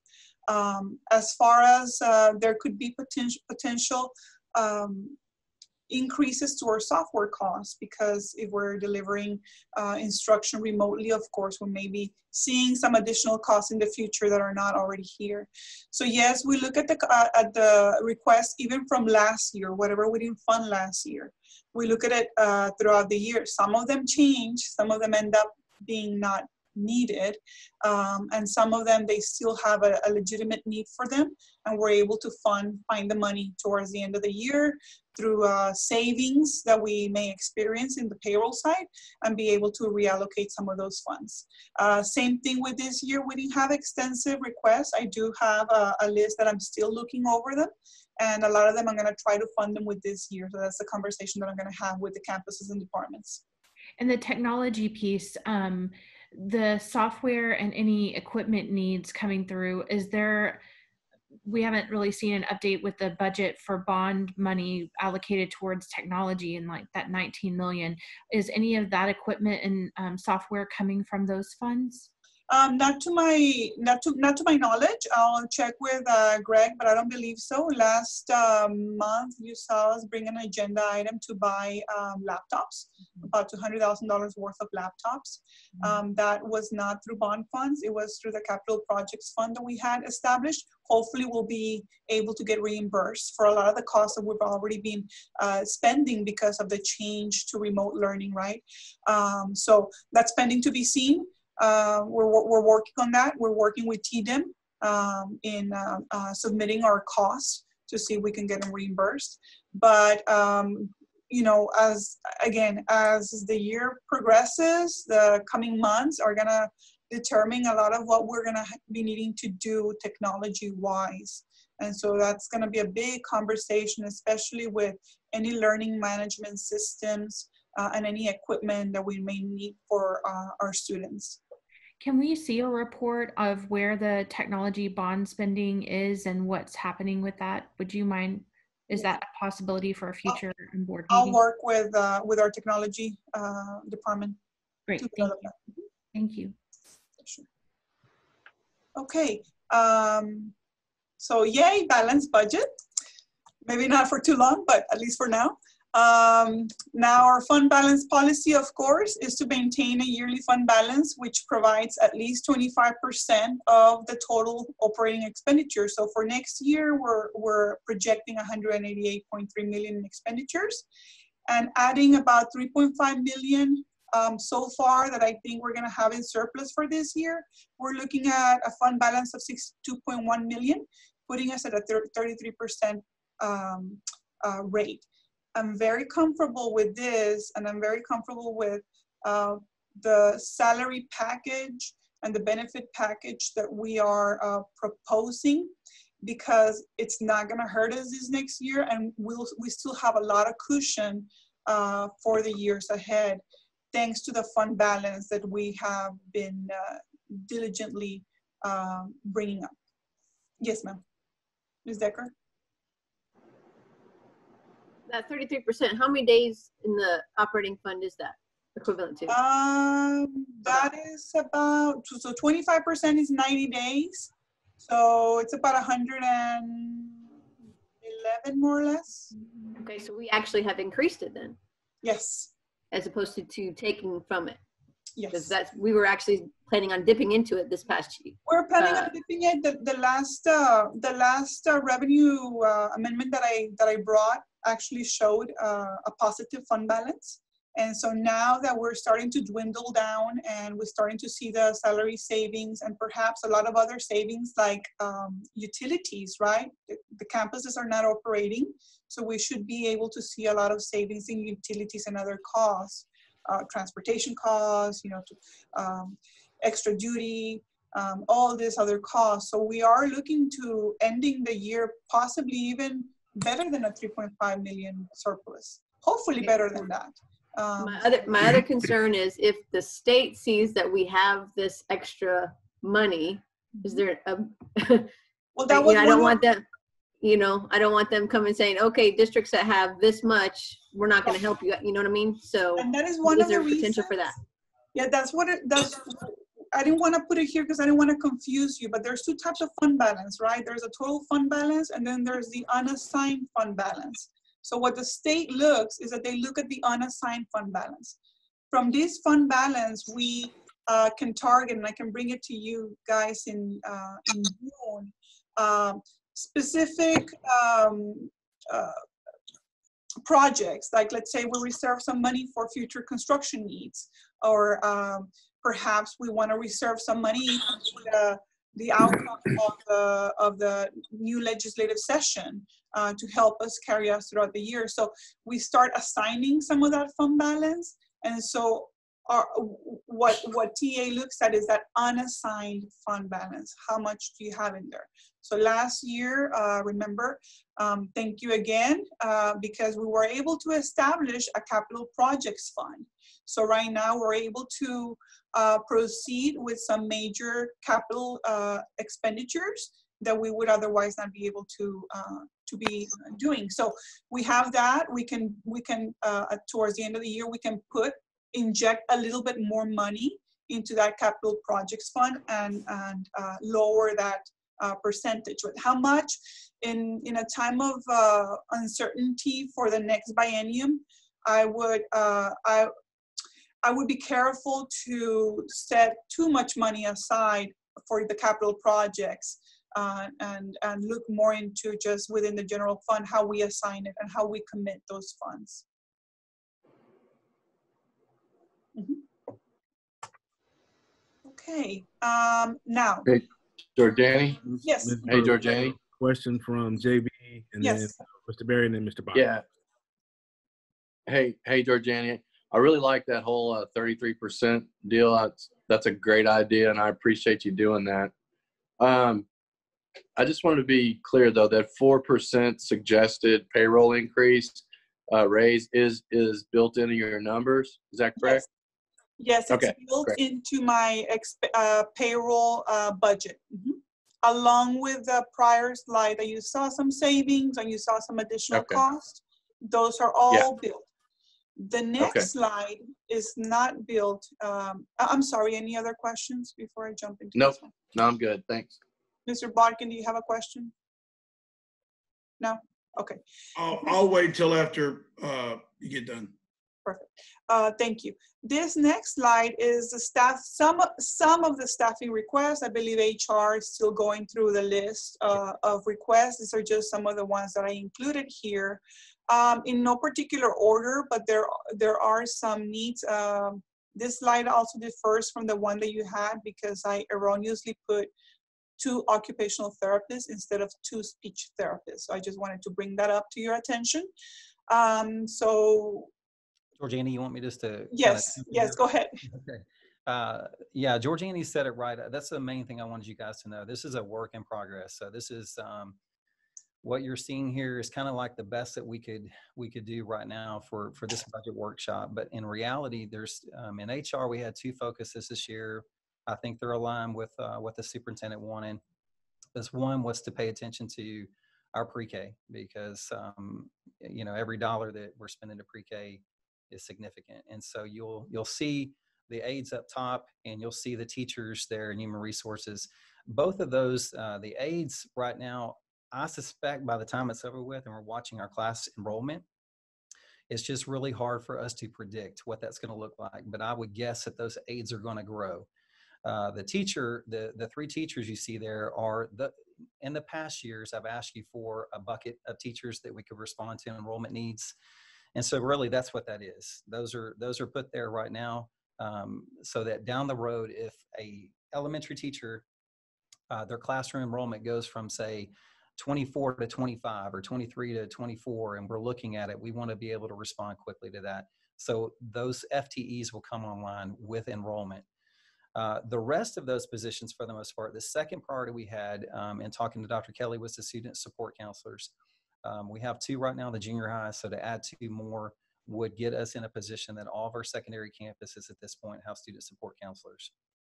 And I think that that was our end goal um, that we would reach that this year for student support counselors in our district unless uh, there's more discussion about that. The rest of those positions, and I have Lisa online, Dr. Nixon is online, I think, to jump in here if need be. But what I want you to know about those positions in talking to her, uh, we spent numerous uh, conversations with her and Georgiani. Uh, those funds right now are her funds. Those are federal dollars that uh, Lisa is spending right now and has been spending throughout the year. She came to us months ago, and then we had a, a meeting, I guess, about a month ago with Georgiani, and we all agreed that um, what she was doing is using her funds for our funds for contract services. And what her request was, rather than using these funds for contract, can she turn them into positions? Uh, and in and in doing so, I think she comes across uh, actually saving some money. So that's not new money. That is federal money that's been in her bucket, and she just wants to use it differently. Um, and there are definitely needs there. Um, Lisa, if you want to jump in there and talk about those real quick. The one position that I will be bringing forward in May at the board meeting would be uh, the vision teacher. Lisa, you want to jump in? Yes, thank you, Mr. Moody. Um, what we've been doing, um, we definitely have the need for speech therapists and occupational therapists. Um, as our enrollment continues to grow, our student needs continue to grow. And so what we're finding is that we're spending such a significant amount money on contract services because it costs so much more than what it would actually cost to have the FTE. So what I'd like to respectfully request is that we're allowed to um, hire these positions, again, just transferring my money that I typically spend on contracting speech therapist and occupational therapist and actually be able to hire full-time staff. And then the last you'll you'll see there for consideration. Um, I just want to point this out because uh, one of the years prior, maybe last year, um, we brought some items forward later in the year, and and the question was why wasn't this involved in additional personnel? So one of the biggest challenges that we have in HR when it comes to this position, uh, this this decision, is one. Right now, we spent nine hundred fifty thousand dollars on pre-K. Uh, that's not typical that we would do that. Uh, so everything else that came in play uh, we just felt like we had spent a lot of money. But if the funds are available, I want you to know that almost every request that comes forward to HR, we feel like they're they're meaningful. They need them, and uh, one of them is the translator. Um, there are a truancy position there slash attendance clerk. I can tell you a little bit about that real quick. We have um, we've had a grant for the past three years uh, that supported uh, two truancy positions, one at Pearland High School and one at Dawson High School.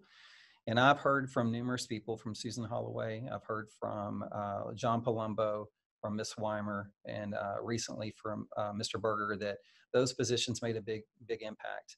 What happened is the grant has run out, and so we we're at a position right now of are we going to can carry these positions forward or not uh, at Pearland High School in Dawson? Because the grant money runs out, we have to put it back into and weigh it against every other position that would come forward to the board for approval. Uh, the translator is something that has been discussed. I've been here in this in this position for a while now, and it's come up several times. It most recently came up through our culturally responsive committee, and uh, where we're you know we're kind of reaching out, trying to reach out and brainstorm how can we reach our community, uh, how can we reach our employee base, and so the translator within the communication department has been an option. I will tell you that we are hiring. Uh, you'll see soon um, a specialist that took the place of Miss Marshall. Um, fortunately, right now, I feel really confident with this, this individual. She is bilingual. And so what we're going to do initially is we're going to look at her as paying her as a stipend, a smaller amount, and see what she can do to support this um, this issue in our district. It would be more of a marginal support, uh, just simply in communications department. But I think it's um, something we want to take a look at. It's it definitely would cost to be cost effective.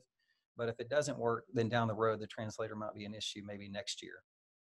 Separate from that, that you won't see, I want you to know, um, I've, I've spoken with Nyla Watson. She's got a concern with a reading program that's coming forward uh, that she's, you know, concerned about who's going to take care of uh, all the work.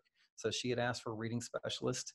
Um, we have a growing department with our bilingual and our dual language department. Um, and so Dr. Franco has asked for three clerical positions to support not just her department, but really to support the campus and the teachers because our teachers, as you know, they do a lot of legwork on um, on documentation, And so her concern was more about getting them back into a spot where they are spending more time teaching students. So those are the main issues right now. Uh, I'm open to any questions you have. We've got two questions out, one from Sean and one from, uh, excuse me, one from uh, Mr. Murphy and one from Mr. Botkin. Mr. Murphy, go ahead.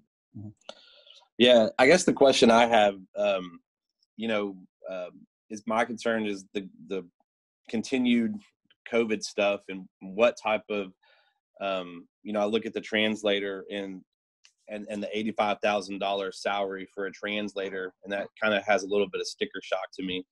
But my bigger concern is what support are we going to have if we if we're in an environment where we do have to go into um, a curriculum of online academics and things like that since we've gotten at least i've gotten a lot of feedback from parents you know regarding the online and the support.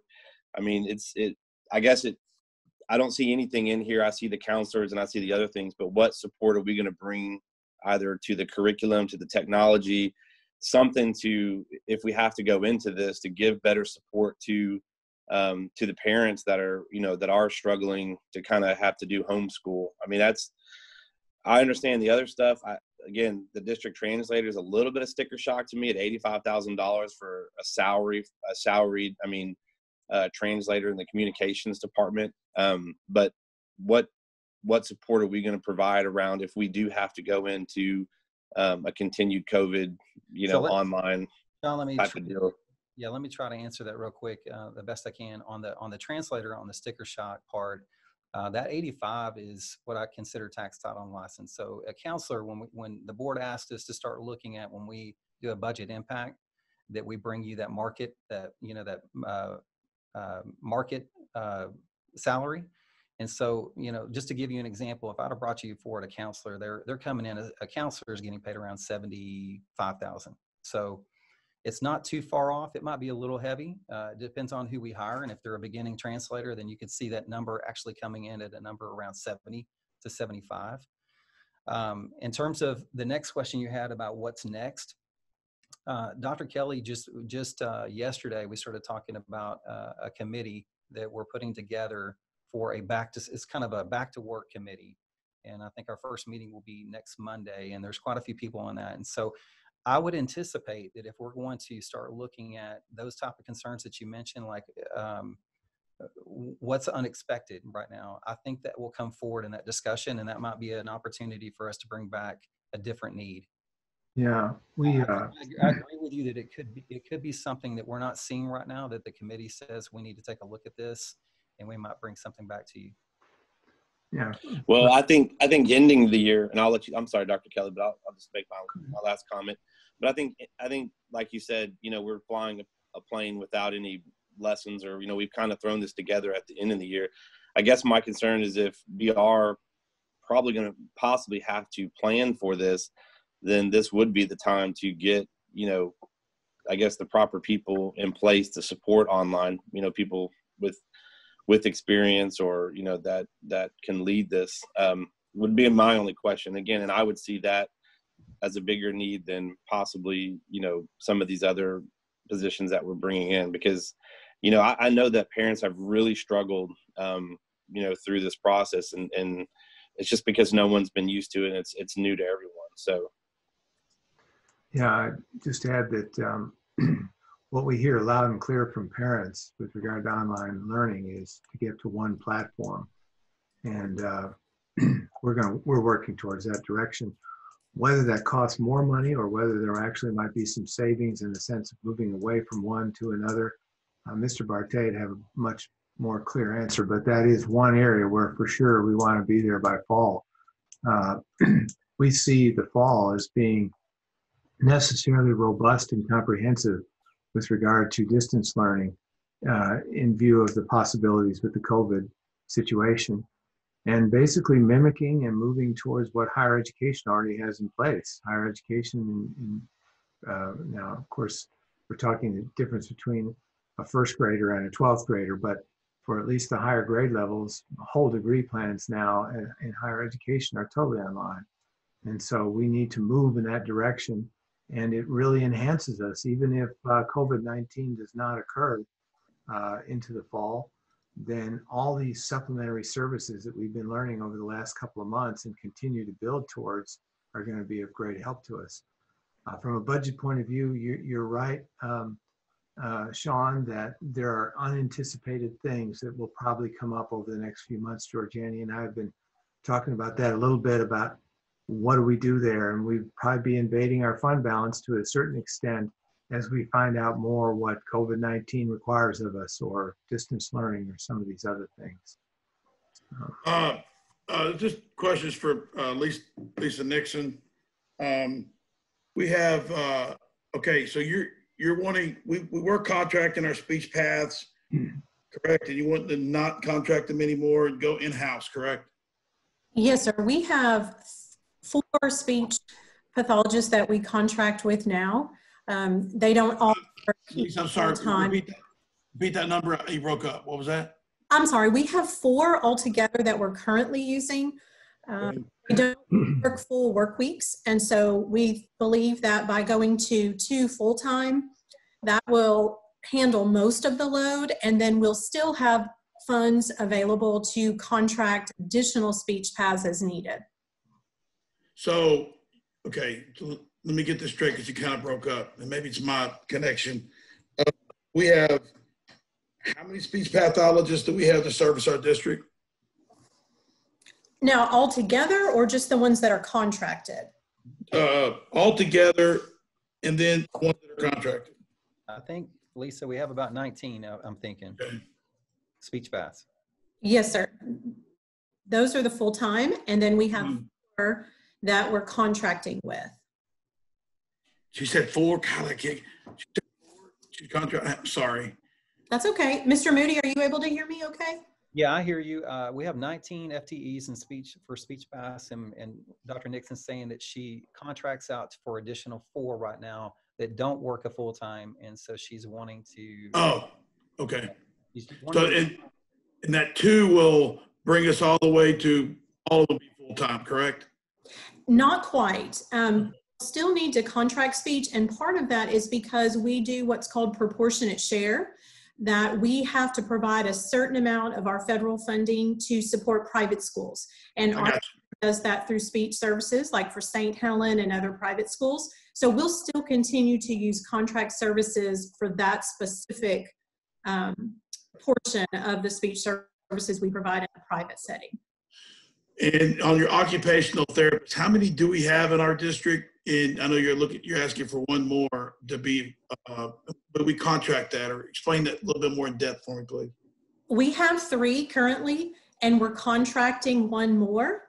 Um, it's really difficult. Our numbers are continuing to grow. You know, as our special ed students come, they come with lots of needs. And so um, we'd like to have a full-time occupational therapist because it's very expensive to contract. And so with this additional, it's going to help kind of equalize the caseload for all of our occupational therapists, and there should not be a need to do any contract services. Okay, thank you. I, I totally agree with what you're saying. Thank you. Thank you, sir.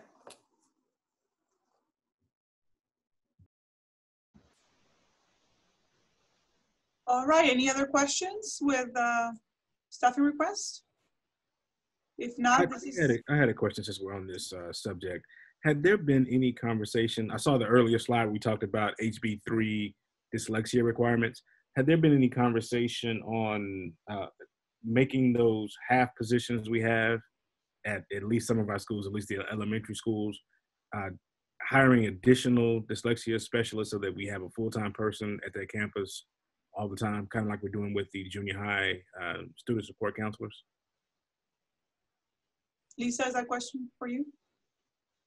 Yeah, the, the, well, I can say the, to answer it real quick, Charles, yes, we've had discussions on that. Um, that was part of, uh, you know, we had a long, lengthy meeting with Dr. Nixon about needs. And so that is something that is, we're looking down the road. I, I, the way we looked at it in HR is, and I talked to Lisa about this, she, she did ask again on the positions that you don't see behind the scenes.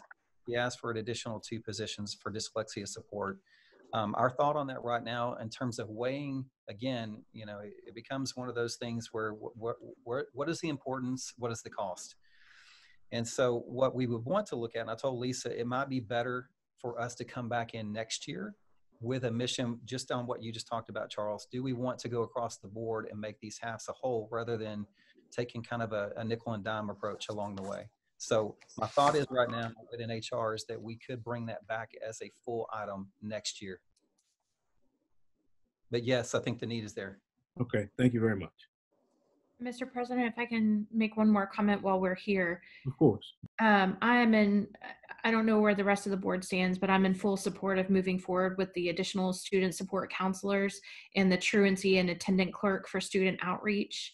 Um, I'm with Sean, and I think from the note with Mr. Moody, seeing how the translator or the new position works out in communication, and then moving from there um, seems like a good plan to me. Um, and then the aides as needed, of course, for pre-K, I'm on board with moving forward with that as well. Yes, if I could just weigh in real quick, again, this document will look pretty different the next time we do a budget workshop. So we didn't have the anticipation. The only, the only position out of this that we really wanted to make sure that you knew about, because we'll be bringing it for approval to the next board meeting would be the, the vision teacher. The rest of those positions, you'll, we'll, we'll have another uh, budget workshop, I'm sure. It'll change a little bit and then we can have a uh, additional discussion.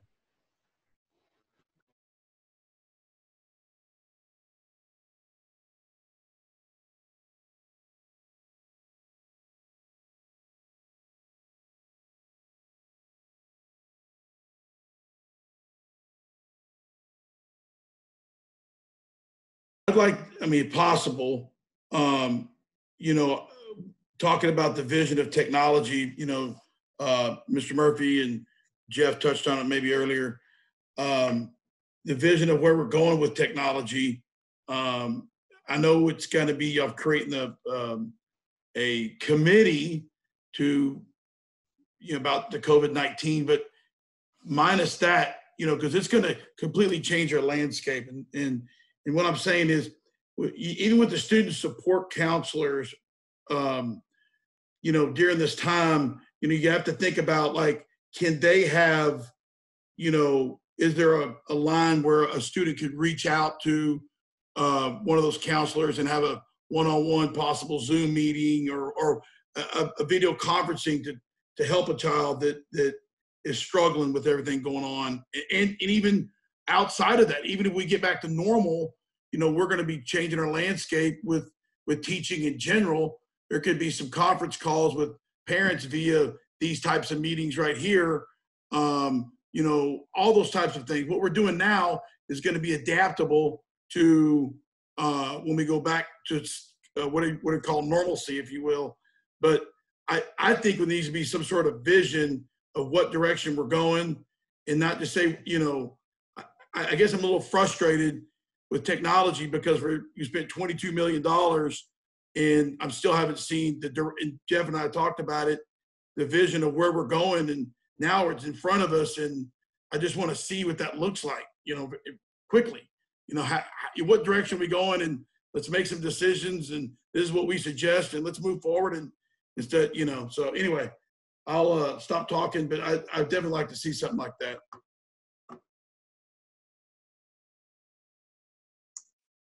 I, don't I don't know if we're asking for responses to that. There there's not right now an answer to that.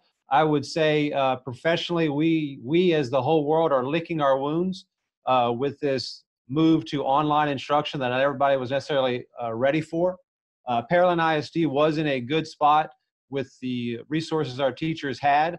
I think part of the problem and part of the frustrations that the parents and the teachers are experiencing is we have a plethora of systems that we are using. Uh, as a district, the vision you're talking about, we need to sit down and CNI and technology are doing that right now as we're all learning from this.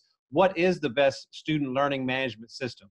Uh, which direction do we need to go into, uh, go in forward as a district? Do we need to stick with Seesaw and Canvas and those do work and uh, eliminate all the extra things that other teachers are doing? Because you may have a team of teachers, say you have four teachers, and three of them are using Canvas, but one of them decides to use Class Dojo. Well, that mixes the message for the community and the teachers. So we need some sense of accountability from our vision. Once we develop our vision and say this is the direction we're going in, we need to hold the district and the teachers and the communities accountable that this is what we're doing. we are using Canvas and we're going to teach you how to use it. We're going to allow the kids to become re- robust in the system. We need to put the supports in place to make sure that they understand if there is a problem. But ultimately, we need to decide where we're going, how we're going to get there, use the hardware and software to support that. But in the end, never forget that the student and the learner are the most important to touch.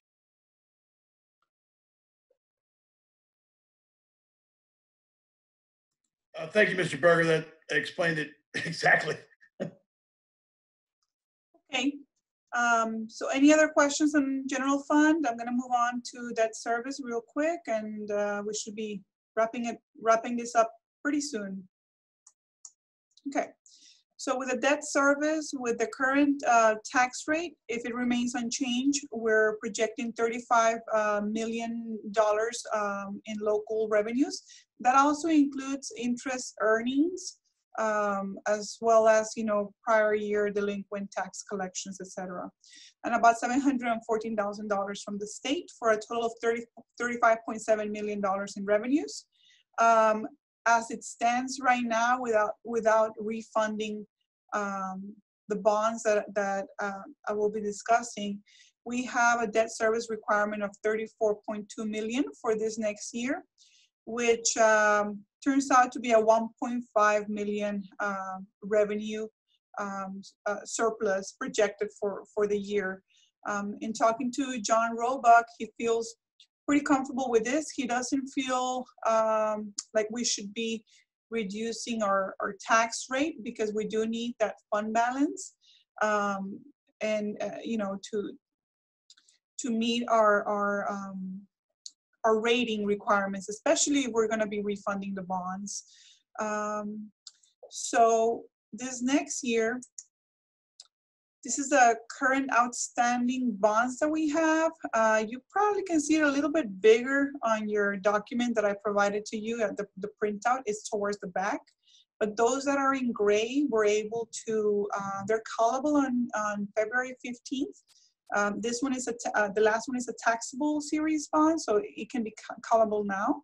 So we're looking at those four um, four bonds, which would generate about 11 point.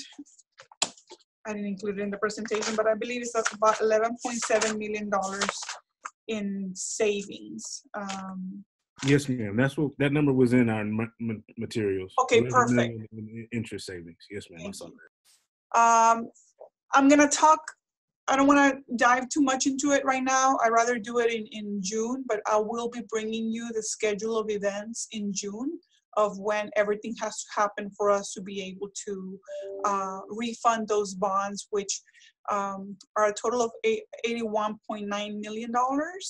And we would be generating about 11.14% in present value savings.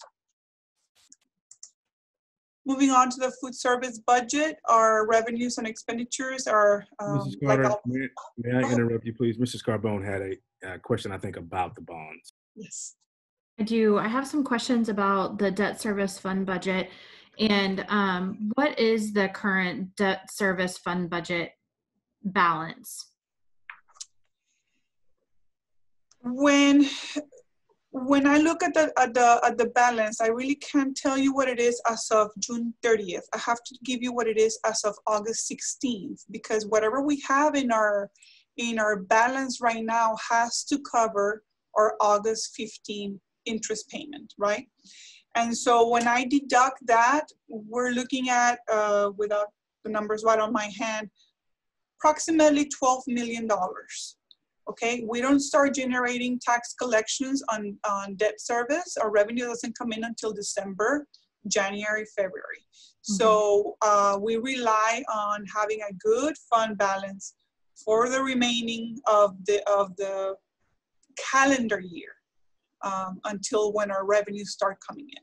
Okay, so in previous budgets that I looked at, our fund balance, um, debt to debt to fund balance ratio, like in fifteen sixteen was about fifty-eight percent.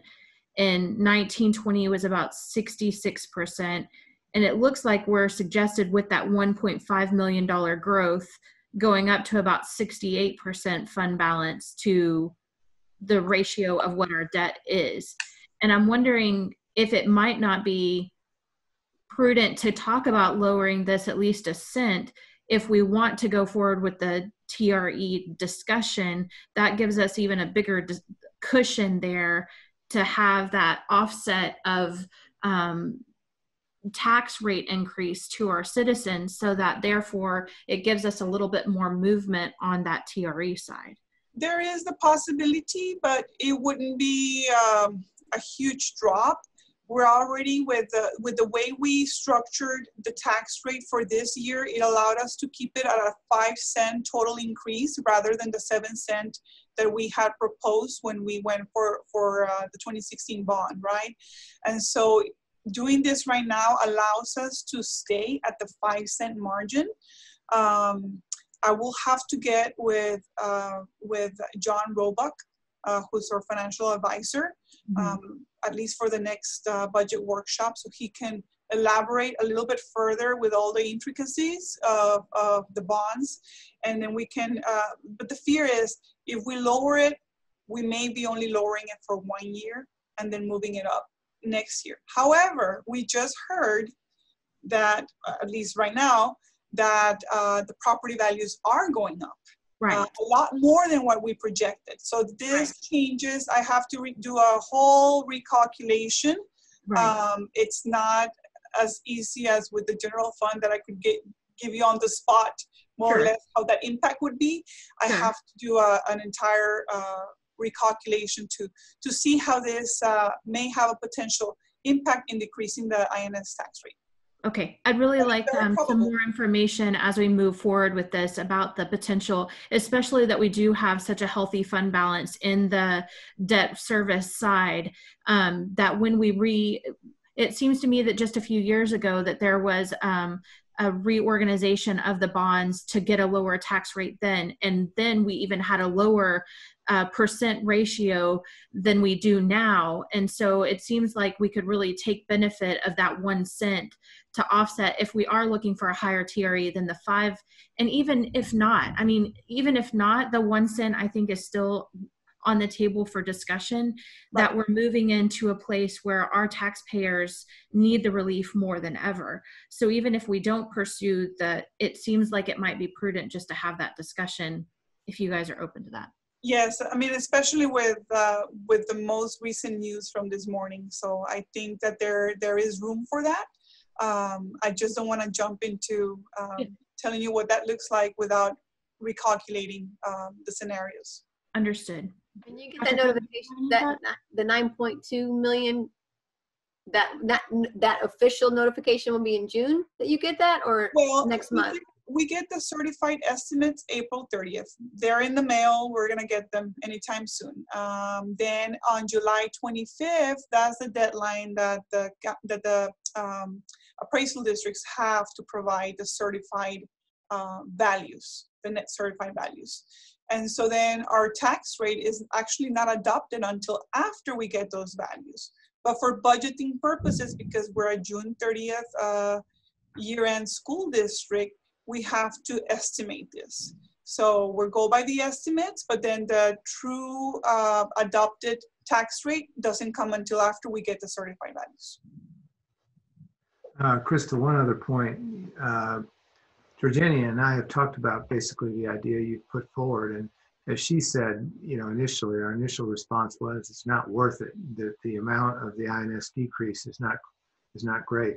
But that does stay on the table um, I, I can't remember which year it was, but it's been in the last three or four years. We did essentially employ what you're saying. We used fund balance to drive down the INS rate so that the taxpayer saw an equivalent or a lower rate.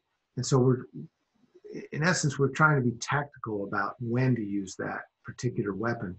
So far, what looks much better and more promising is that tax compression is so significant mm-hmm. that it accomplishes what you're after, which is a lower tax rate to the uh, to the taxpayer, particularly if we go forward and ask for a TRE.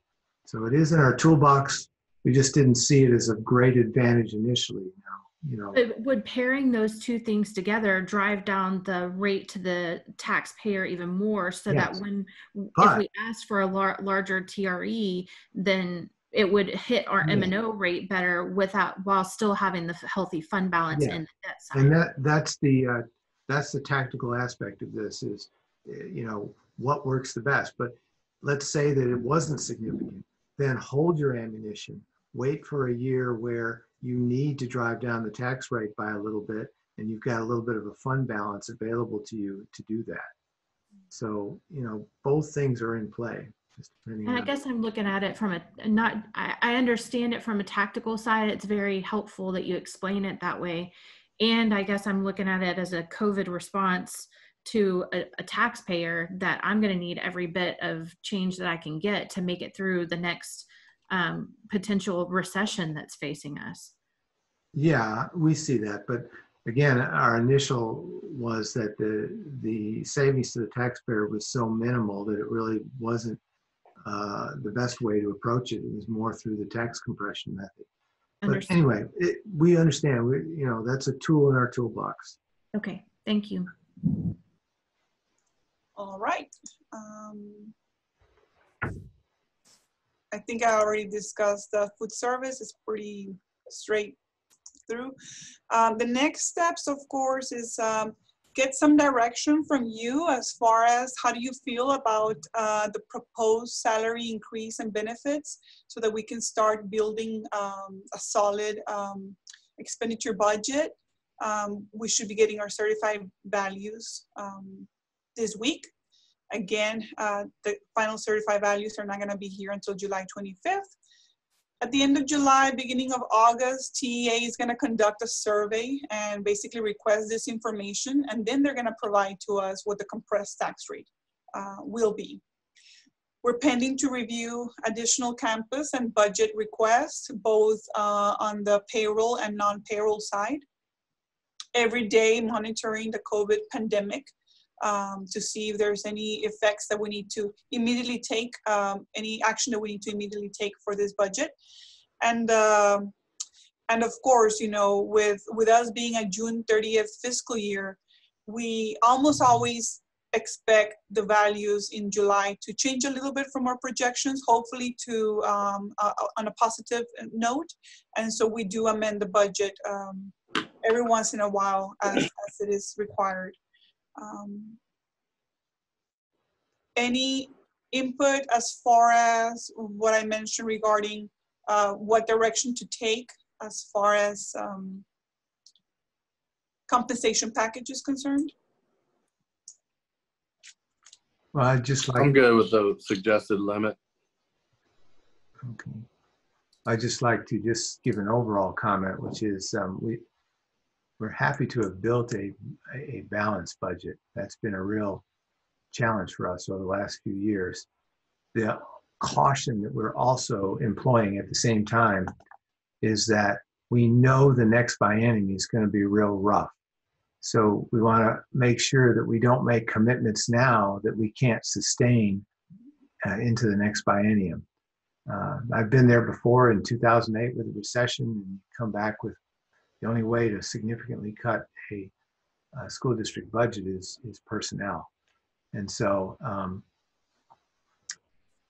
I think Georgiani has achieved a good balance here. And, and but we also realize that as we go forward in the next few months, particularly with things that we can pull from fund balance, there may be new expenses that are unique to the situation we're in right now with COVID.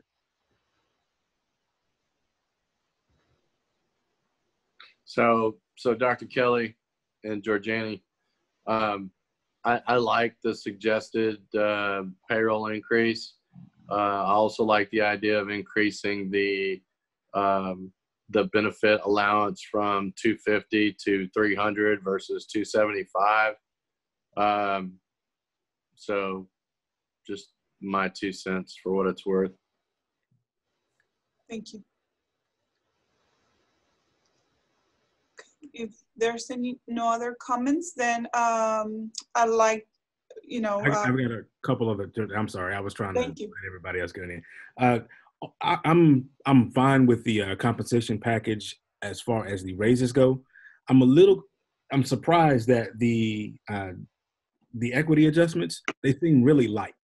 Right, it seems like it's a real conservative. I agree. Yeah, uh, shot at that.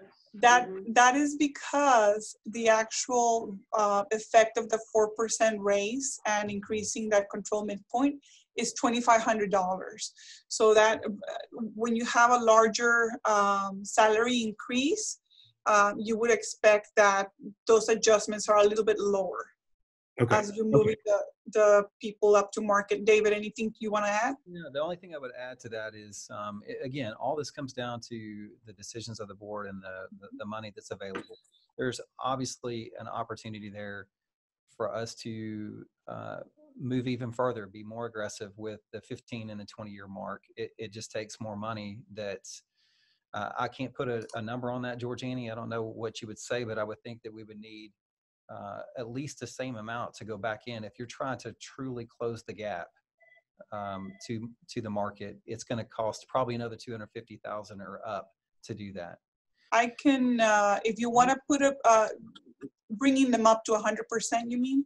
Yeah. 100% of market. Yeah. I can calculate that uh, for the next budget workshop if you're interested in, in knowing and, that. and what we would amount. have to do there at that point is to make sure that there's no kind of ripple effect to that where the, you know once the teacher's salary starts moving what does that do to the gap between the teacher and the counselor and the counselor and the specialist and Right. there's there's hidden costs there that we would need Right. to be careful about Right. but um, if you're if you're asking for uh, i want to say my first year in this position and the board uh, that year did a 4% raise maybe it was 4% raise and gave us another $750000 for equity adjustments Oh, Yes.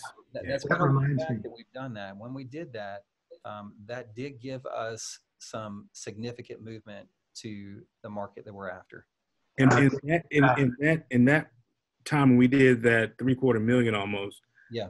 I remember there were a lot more um, folks in the ESC that were. It wasn't just teachers. Yeah, was- and so yeah. uh, you know, not to prolong the, the meeting real quick, but uh, uh, that's a very important point you just made, Charles. In that you know we spend a lot of time talking about teachers because that is that's what we that's our first and foremost priority.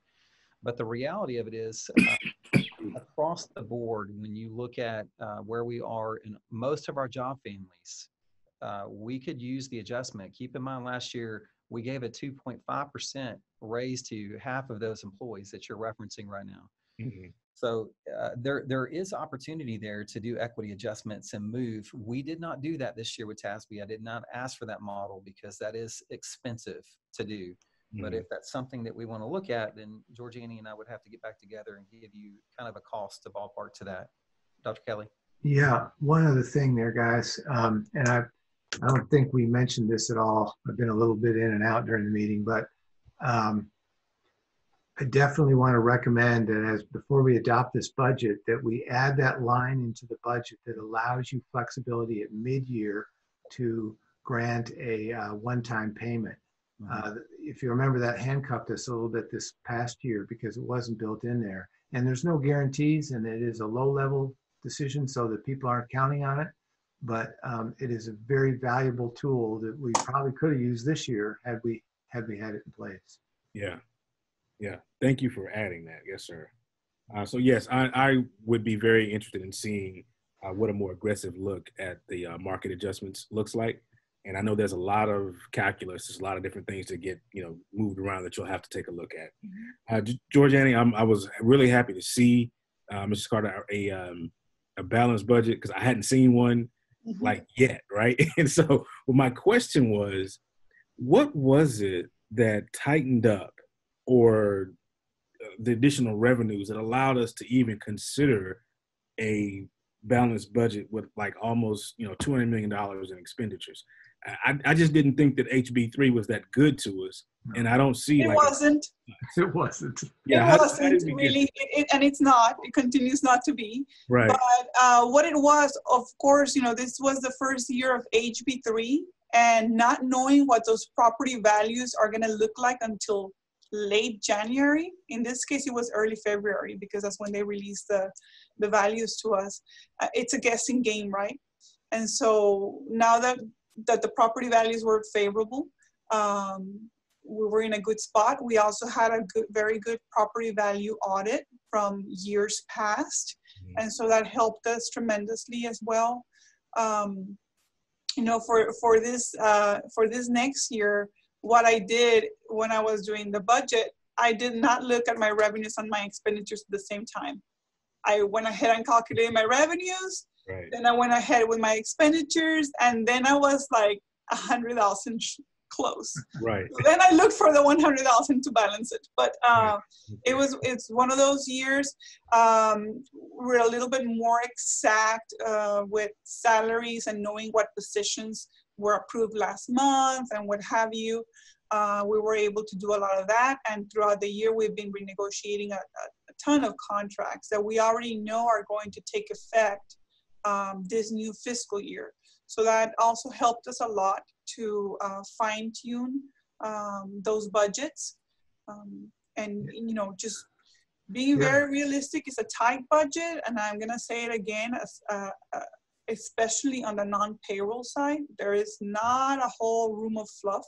So if things do emerge and we do need additional expenditures, then we will be coming to you and asking for a budget amendment. So that is one of the things that I do want to stress. Um, we're building it based on what we know right now. Um, projecting a little bit more for next year because of HB3, but not necessarily, nobody knows exactly how this COVID situation is going to play out um, next Yeah. year. Yeah, Go ahead, Dr. Dr. Kelly. Uh, Let me add something that, and to Charles' question that may not seem like it's related. You're saying, why are we in this good-looking position as we go forward? Uh, One of the things that, that benefited us this year that we weren't expecting were reimbursements, believe it or not, from Hurricane Ike. Yes. Now, that's relevant to future years in this way. We are very aggressively pursuing grants in relation to COVID-19 and feel very reasonably assured that we're going to get some money from there. And that so- somewhat takes some pressure off of us in the sense that we're, we're going to be made whole in some ways. Um, Okay. And so, true. so it wasn't, it wasn't a, a bunch of cost. We didn't cut out a bunch of costs. We got additional revenues and so, okay, okay. And my last question was, um, what is our lowest hourly rate wage that we pay? Uh, I wish I could tell you that. I think it's eleven dollars and twenty, eleven dollars and sixty cents. I think. Okay. Do you know that? And I asked because it's it's been a couple years since we talked about that wage point, and I think we said it to make sure that no one was making.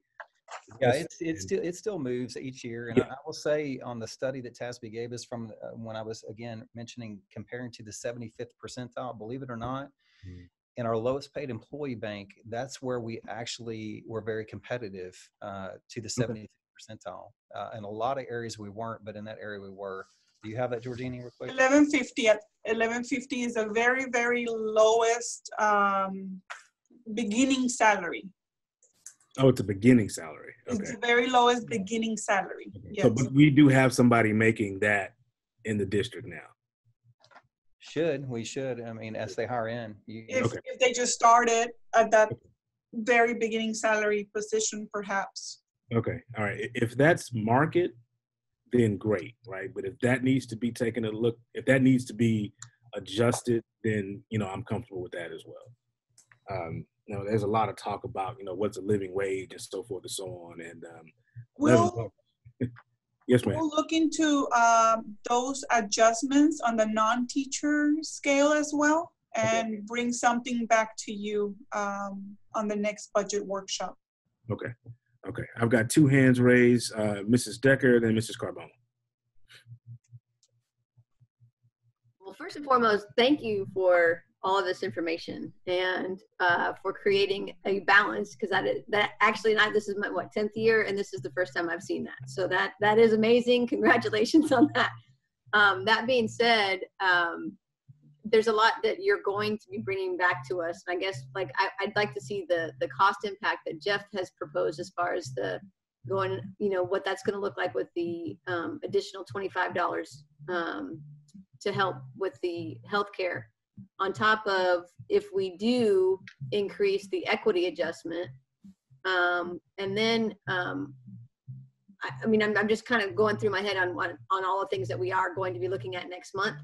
Um, but the uh, the other question I had is you, you mentioned earlier that there's a bunch of savings due to utilities and just different things that, because we're not using our school buildings. And then you also said that you're gonna get back with the campuses to see if there's actually things that you can purchase this year with those savings? Is that, or is that something that, that we're Well, looking at?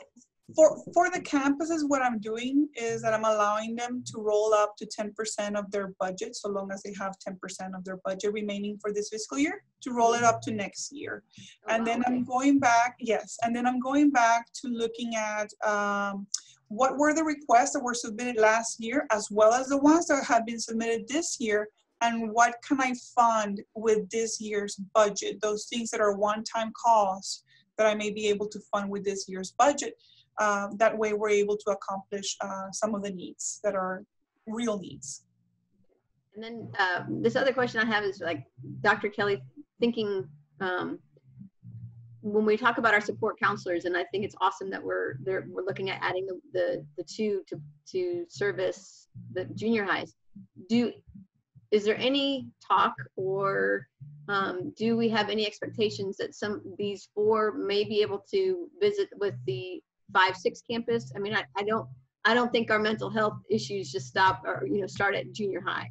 So just, I mean, I'm just throwing it out there. I know it's another huge cost um, to even be thinking that route, but um, you know, we're seeing fifth and sixth graders that are are also struggling, and and so I just wanted to know if there's been any talk on that, or um, if it's, you know, if this is ju- it's just not it's not ever going to be doable.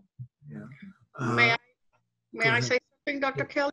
Yes, This- Yes, the plan is for those junior high counselors, student support counselors, when they are full-time, to work with that feeder pattern. So they would go down to the middle school. That's great. That's good to know. That's very good to know. Okay, that's all for me. Thank you again, Georgiani. This is awesome, and staff. Thank you. Hey, Charles, real quick on that fact of the custodian, um, the, um, market compared to market is hundred and five percent right now. So we're in a good spot there.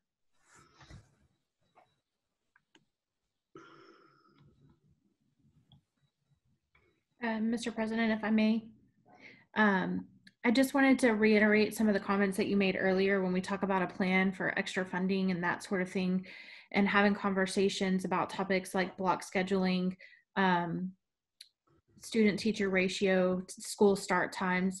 Um, I know that we have a lot of hurdles to cross before we can ever get there, and we definitely want to get through COVID. And but I just want to reiterate the importance of the comments from several of the board members about having at least discussions and workshops on those topics. Because I know there's going to be a budget implications of all of those things.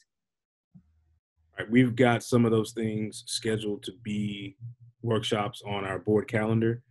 And I mean, obviously things have just kind of, there's, everything's just an upheaval right now, but you know, we'll get back to, to that schedule. It's, you know, as soon as we can, you know, as soon as it's practical. Uh, but yeah, a lot of that stuff is set to be talked about and we know it's going to have budget implications, implications. But, you know, I just piggyback on what you're saying. I mean, it, it can't be a TRE just for a TRE. It's got to be a vision attached to it. And I think those things, uh, even some financial things that uh, Mr. Barry is talking about, you know, that's just got to be part of the vision about what we're going to go out and ask for a TRE for.